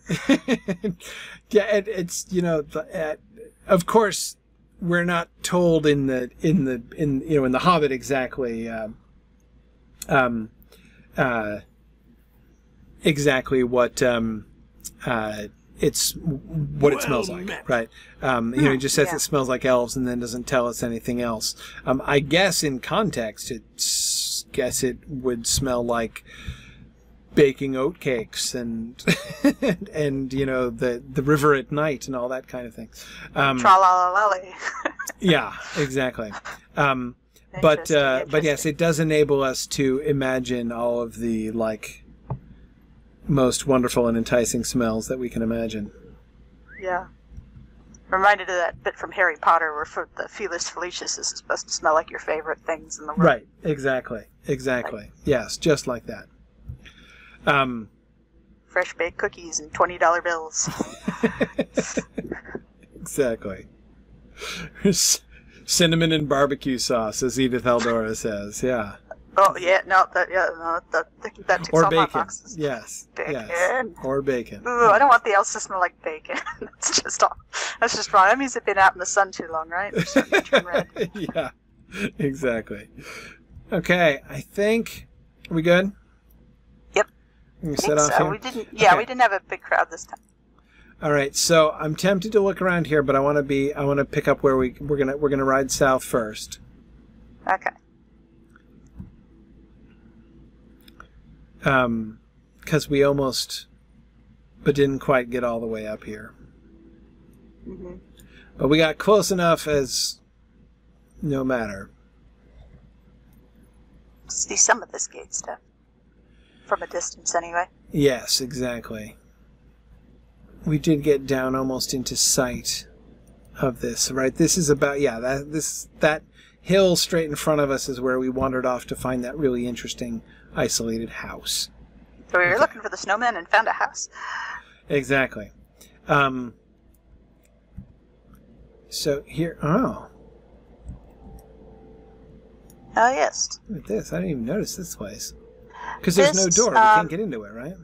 Well, I, I, gosh, uh, didn't there used to be a stair up here or something? Or am I thinking of someplace else? I think else? there's a different one right around the corner. Yeah, I think so. What does the map say this is? Map says nothing. Nothing. It's just a. I guess this is one of those dwarf doors that's not meant to be seen when shut. Yeah, it's quite possible. Or it's a it's a passageway from from one place to another. Yeah, yeah. But this is definitely very, um, uh, this is definitely, um, Longbeardish and not Yeah. Dour Handy. It's not as pointy. Yeah. And of course, that's unsurprising in that we are getting to the center of the Longbeard power. I'm looking at the Mhm. thing about there's like a little hutment up on the shoulder of the hill there up above. Yes. Yeah, I'm gonna. Th- I, I think this has to be some kind of gate. Um, some kind of entrance into some internal mountain pass here. Maybe it's the servants' entrance or the trade entrance. Yeah, maybe the trade entrance. Yeah, there's like a loading dock in there. Yeah, and then of course we get a we, we get a classic um, a classic Longbeardian, Longbeardian Palandor. Okay, Long Yeah. Longbeardian um arch there. I think this is the one that you were Oh thinking. yeah, of. this is the yeah this is a stairway. This used to have a quest for um for uh, jeweler. Very early Oh, right. jeweler quest on. Yeah, see, this also looks like the door was sort of removed here. But again, dwarf doors are not made to be seen when shut, we're told with some authority, so presumably that applies here too. Mm-hmm. Okay, So this one is a little pointier. yes. But I'm still. So, one of the things I'm looking for is any evidence of Dour Handy architecture anywhere in this region. Right? I mean, we, we saw it before. So, like, was Sarnur their seat of power? Um, s- and, and we've seen, of course, so many places where the Dour the Dour hands had built, and then the Longbeards came, and it seems almost like on principle, right? Even if they weren't using it for anything, they were like, "We're going to build over this." Um, Yep. So, I wanted to see if the, you know, this area up here was also was going to be like that as well. Mhm. Oh, those those towers over there, those those ramparts are. Look a little dour handy. Yeah, well, they're fancier certainly than any of the Longbeard stuff that we've seen. I'm w- They like the pointy bits. Yeah. Okay, I was I, I couldn't tell if there was from a distance. I couldn't tell if there was some kind of symbol or insignia in, in those uh, in between those arches there, but it, there's not. It's just a design with frost on it, so Yeah. it looked more complex from a distance, like it might be a, an image, but it's not. It's just pareidolia. Yeah. Yeah. that we got our blue lanterns, Yeah, we got the blue lanterns. but no sign of jasper anywhere, red or red or green. Got these funny, um, sort of flowery, stameny looking minarets up there. What on top of the yeah. Yeah, on top of the gate. on top of the gate. And those we've seen. We saw those first, I think, down in Kellador. Mhm. Um, okay, and once again, the towers, everything that we're seeing up here matches the architecture of that wall that was just behind us. And I don't see anything obviously dour handy about the sort of main edifice around the gate there. Nope, me neither. Okay. Hmm. Then, of course, we have. I don't think I noticed that giant face on the side there Yeah, I in the mountain. I Is that new? took a long time to notice that. I don't rem. I I. It might not be new. But Not yeah, in the Seven Hills. it's yeah, it's um.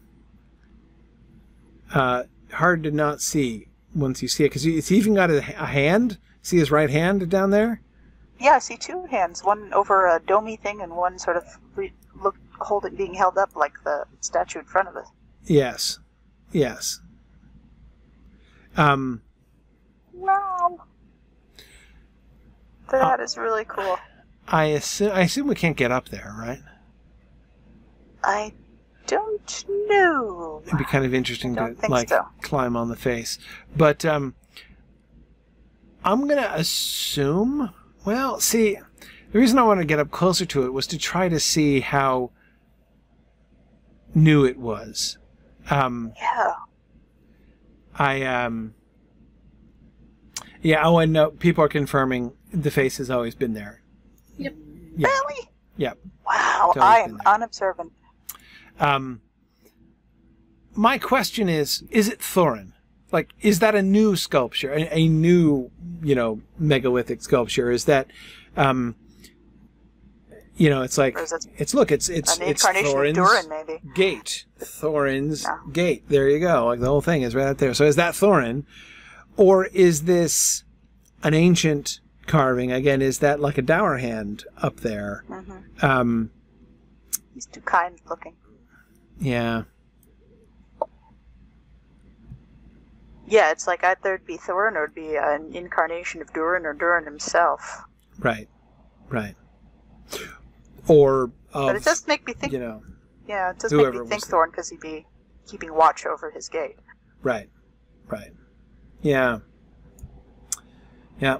Well, we've got Frerin here. Yeah.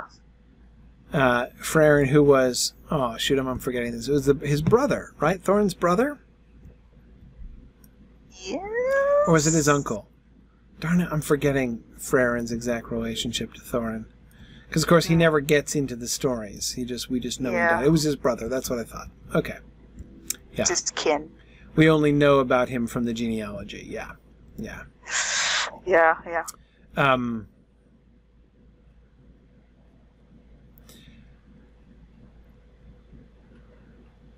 fascinating that he.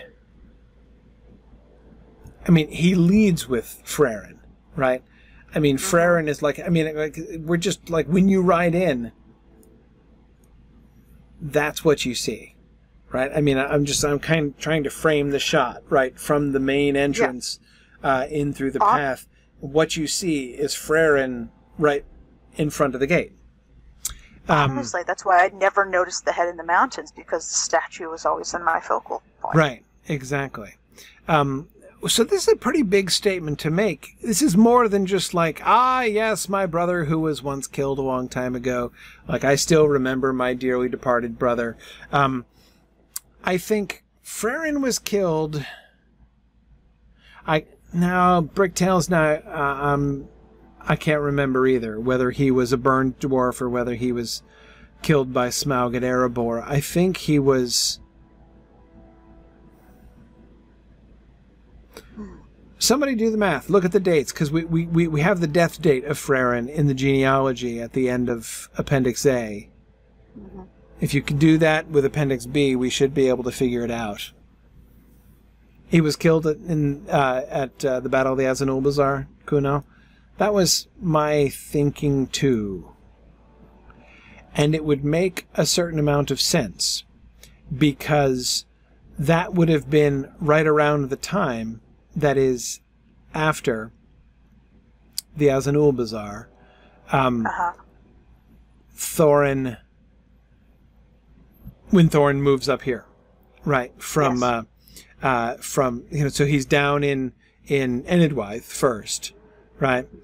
Um, but after and you know as they are, so that's where they end up after they're wandering, right? When they wander away from Erebor, uh, the first place where they find a home is in greater the greater Dunland area, right in Enedwaith.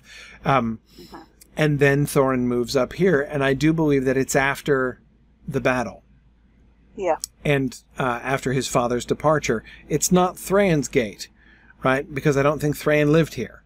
Um, I No. think that you know that Thrain had already wandered off and been captured and uh, imprisoned by the Necromancer uh, before Thorin moved up here. So, in other words, Frerin's death would have been very recent when this place was made.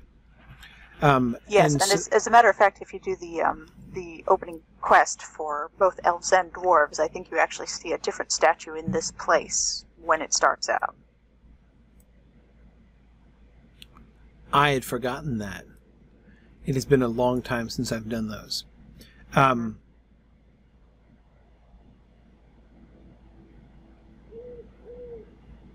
there you go. Deathman was just quoting the game lore about the courtyard. Yes, where it emphasizes he was slain in the Battle of Nanduhirion, uh, giving the elvish name, of course, for the valley of Azanulbizar. Um, There's not a statue of Skorgrim here first, which they replace with the statue of Frerin, is there? I think so. I think it was Squirrel.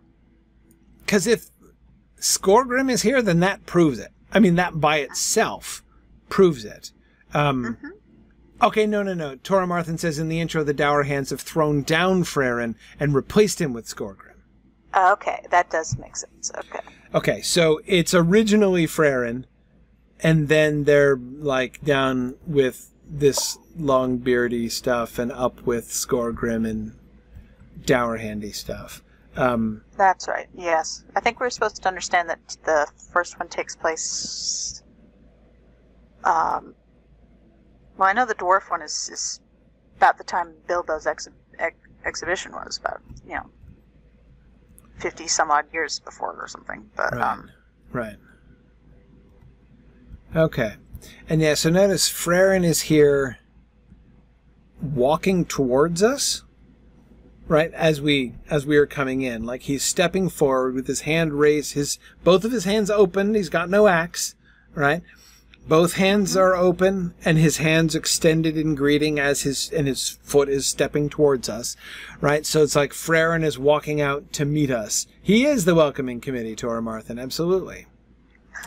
um and it's interesting. All the other dwarf stuff we've seen, there's been great emphasis on the armor they've been wearing and the Yes. jewelry they wear and the weapons they're wearing. And this one, it's less of that and it's much more humble. Yeah, it's it's it's just his figure, right, in his hands and his crown. I mean, the his his crown-like helm there is one of the primary, one of the most detailed elements um, of the of the thing. You know, so he is uh, he was never king of the dwarves.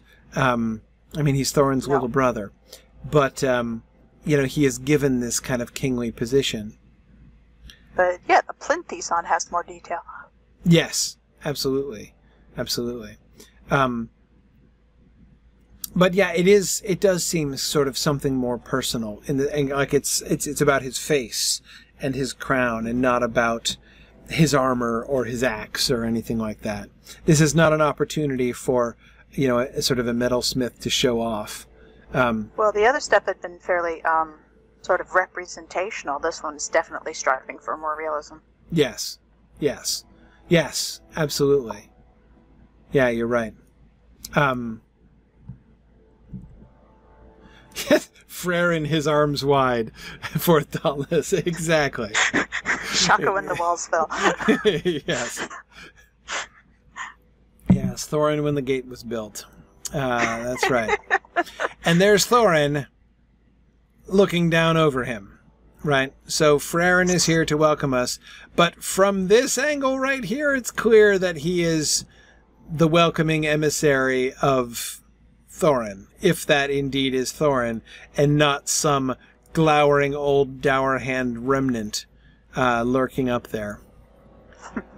but I'm gonna again. So far, we've seen no evidence of dour handy anything. Uh, if I see really. any, then uh, right here any anyway, then I will begin to suspect. But I think that's probably Thorin. Does it say anywhere? Is there any game lore that specifically mentions that colossal statue up next to the gate? No, it's, like I said, I've been in the game eight years and I never noticed it till now. It's interesting that he's uncrowned, though. Implies it's not a king but a good man. Or the crown is what's in his hand. It looks like he has a helm in his hand. In his left hand, to the right of the face? Yes. Possibly. Possibly. Yeah, if that's what that mass over there is, hard to tell with the snow and the distance. Yeah, I can't really tell where that would be in relation to anything. Maybe similar to like the dwarf uh, secret society thing that you can get into with reputation. Maybe. It's under there. Maybe.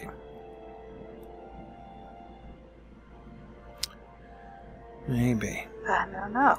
Okay. Kind of want to do the opening quest again, see how many Yeah, I this is still know. there. Seriously, I've. uh It has been a long time since I have done those. Okay, I'm just gonna. We're gonna. We're gonna end little soon, but we're gonna wander over here. So here's another little mini Frerin. Right? Look at that. Yep.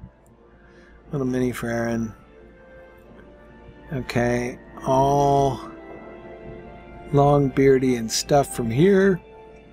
With the added industry on here, we got our metal stovepipes. Yeah, the stovepipes coming out are, are an interesting. We've not seen that, but why would we? Mostly what bit. we've seen is like mostly ruins and things.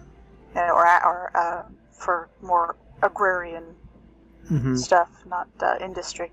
hmm It's a bit tacky, I gotta say. I don't like the pipes sticking out. The pipes, yeah, yeah, It's like a. It's like that apartment with personality you see in the listings. right. Ooh, nice lamps. I do like those lamps. This is the this is the Thorngate housing development, right? Yes, it is. That's where my personal house is, but uh, I uh, um I almost never approach it from the outside. I think the Mythgard house is still there too. It is. It is. What are those silos? Are Uh, those towers under construction? it's definitely part of the more industrial parts. You see the smokestacks coming out of the sides there. Yeah. Maybe some sort of smelting, st- smelting oven, coke oven. Yeah. It does look a it does look a lot like the the the smelting and coke stuff that you see in um, northern England that dates back to the Industrial Revolution. For for smelting steel. yeah. Yeah, exactly. Yeah, exactly. Furnaces of some kind, as Desmond says. Hang on, I wanna I wanna co- what, what's up here? I don't remember what's up here. Stuff Yeah. or nothing. In any Stuff ca- or nothing. Stuff or nothing. Yeah. I- an interesting view of It's called the building across the Rivergate way. Watch. Rivergate Watch. Huh? A cliff I'm about to up. run off.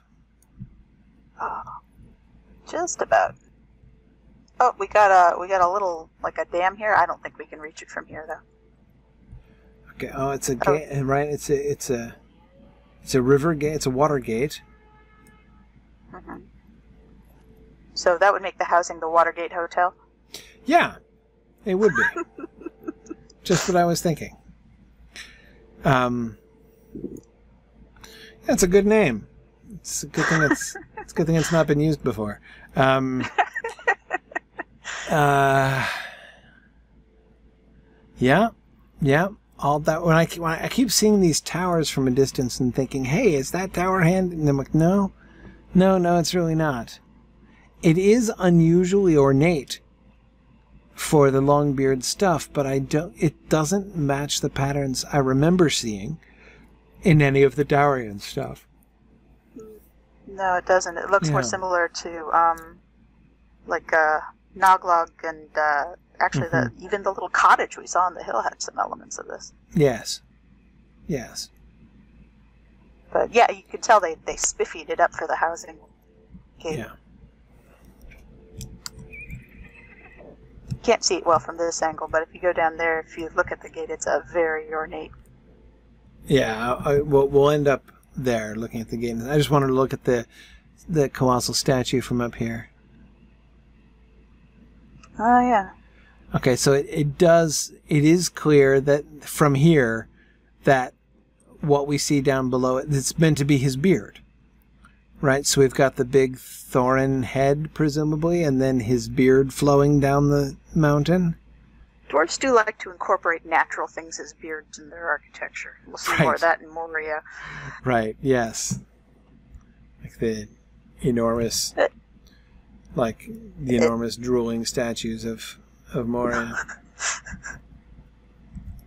But it's, it is an interesting idea, though, the idea that dwarfs being part of nature. Nature being part of them. yes, the the the the glow, the growing and living rock. Yeah. Mm-hmm. All right, let's go over and check out this gate a little more clearly. And, and just like, you know, just like a beard, it'll grow and change with the seasons. That's right.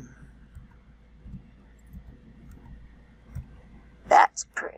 Oh yeah, we got a fancy door. Ooh, and statues on either side. hmm Oh, these are new statues. Haven't seen these before. No, we haven't. But again, see, just like you were saying, look at the, um, the the face is just like a nose and two eye holes, but the armor, the detail work of the armor and the the hammer, you know, are Yeah. are very, very much the focal point. Look at that. there's more. There's more attention drawn to the belt buckle than to the face of this dwarf. It's almost like a it's like a mannequin that's meant to Yeah. sell the armor. Exactly. Exactly. Yeah. I love these lamps. I want these lamps. They're pretty. Yeah. These are cool lamps. Reminds me of my little salt rock lamp I got on my bedside table.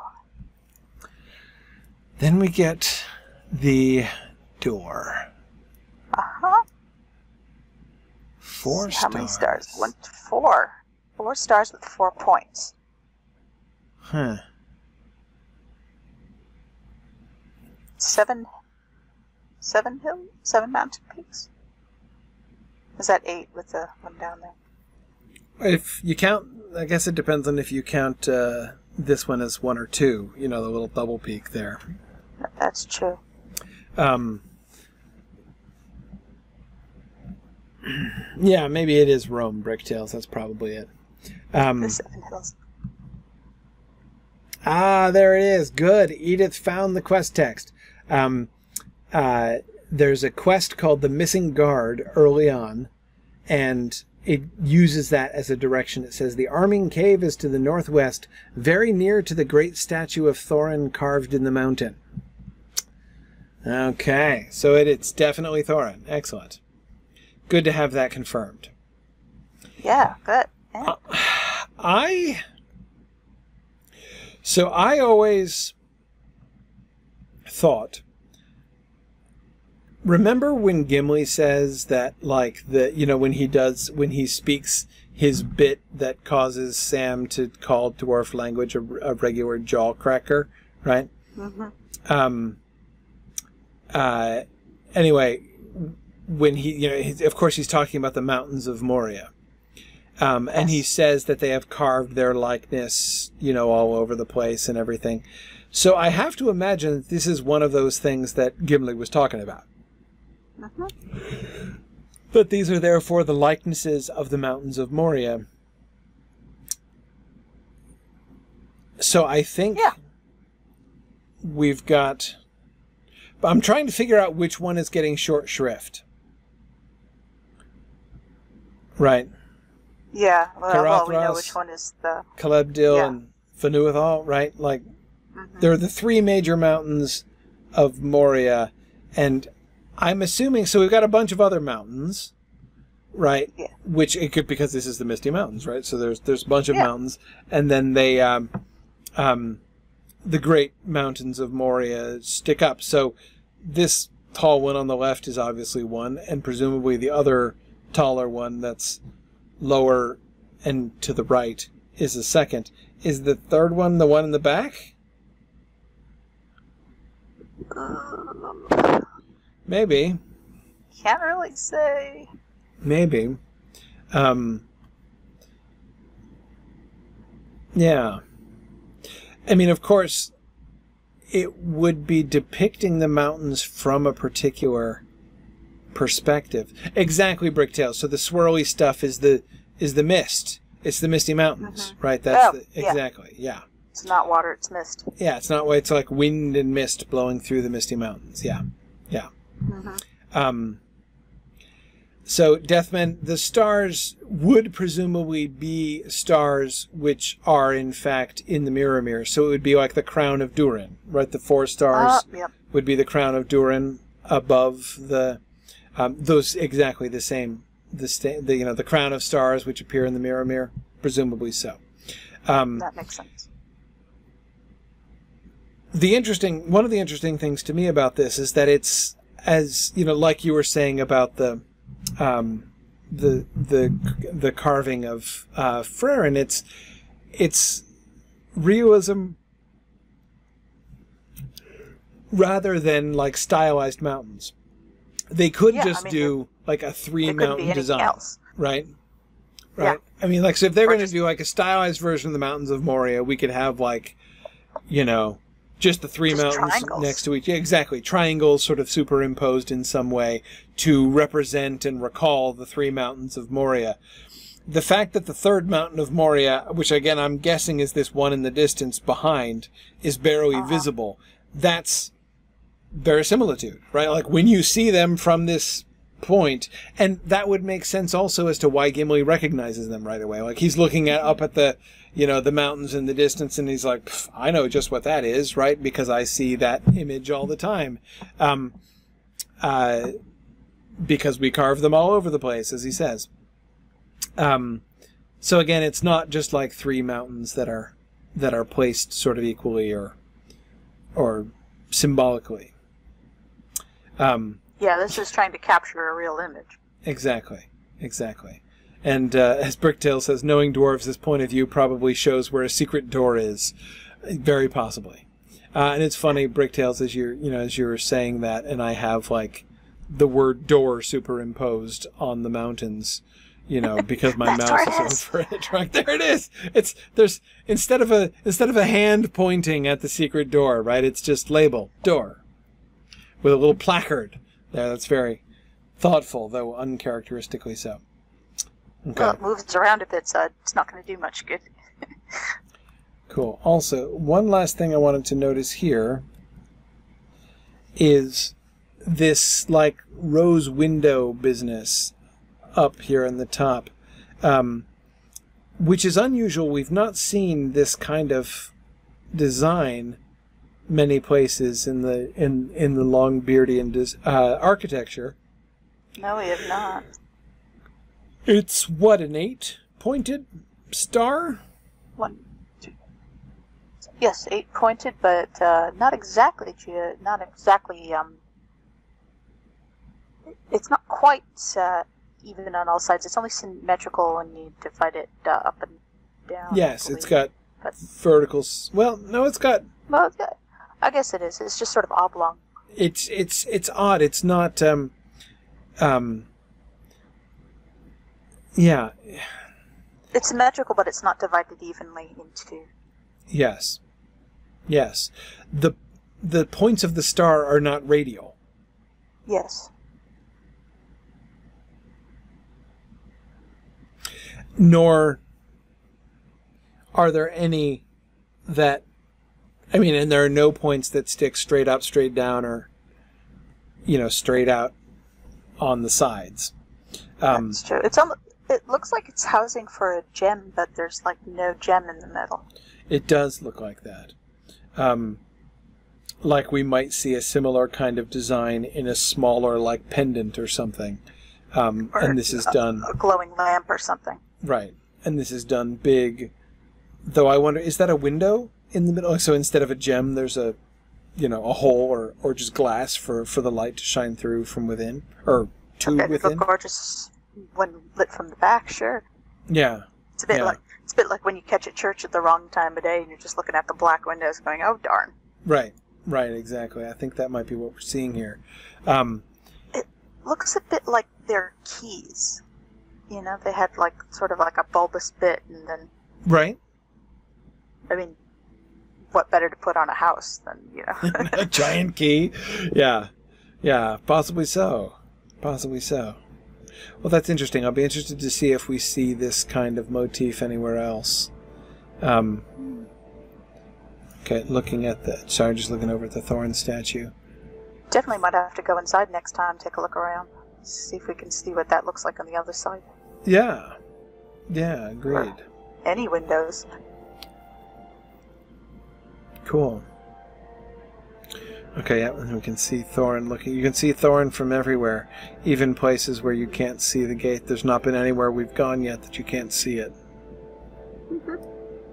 which is interesting. Okay, cool. All right, well, we should stop there as it's getting late. Um, we'll continue our exploration of Thorin's gate uh, next time. We'll come up through here before we go inside and do the main Thorin's gate proper. We'll finish looking Mhm. around the. Uh, um, the uh, the grounds out here and the different areas that we meet in the elf and dwarf intro areas.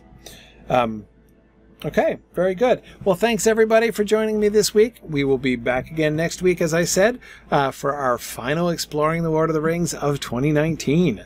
Uh, so thanks everybody, and I look forward to talking to you guys again next week. Good night now. Good night. Thanks for joining me on this epic exploration of The Lord of the Rings and of Standing Stone's video adaptation of Tolkien's story. If you are having even half the fun I'm having on this journey, I hope you will consider supporting the project by donating at signumuniversity.org/fund.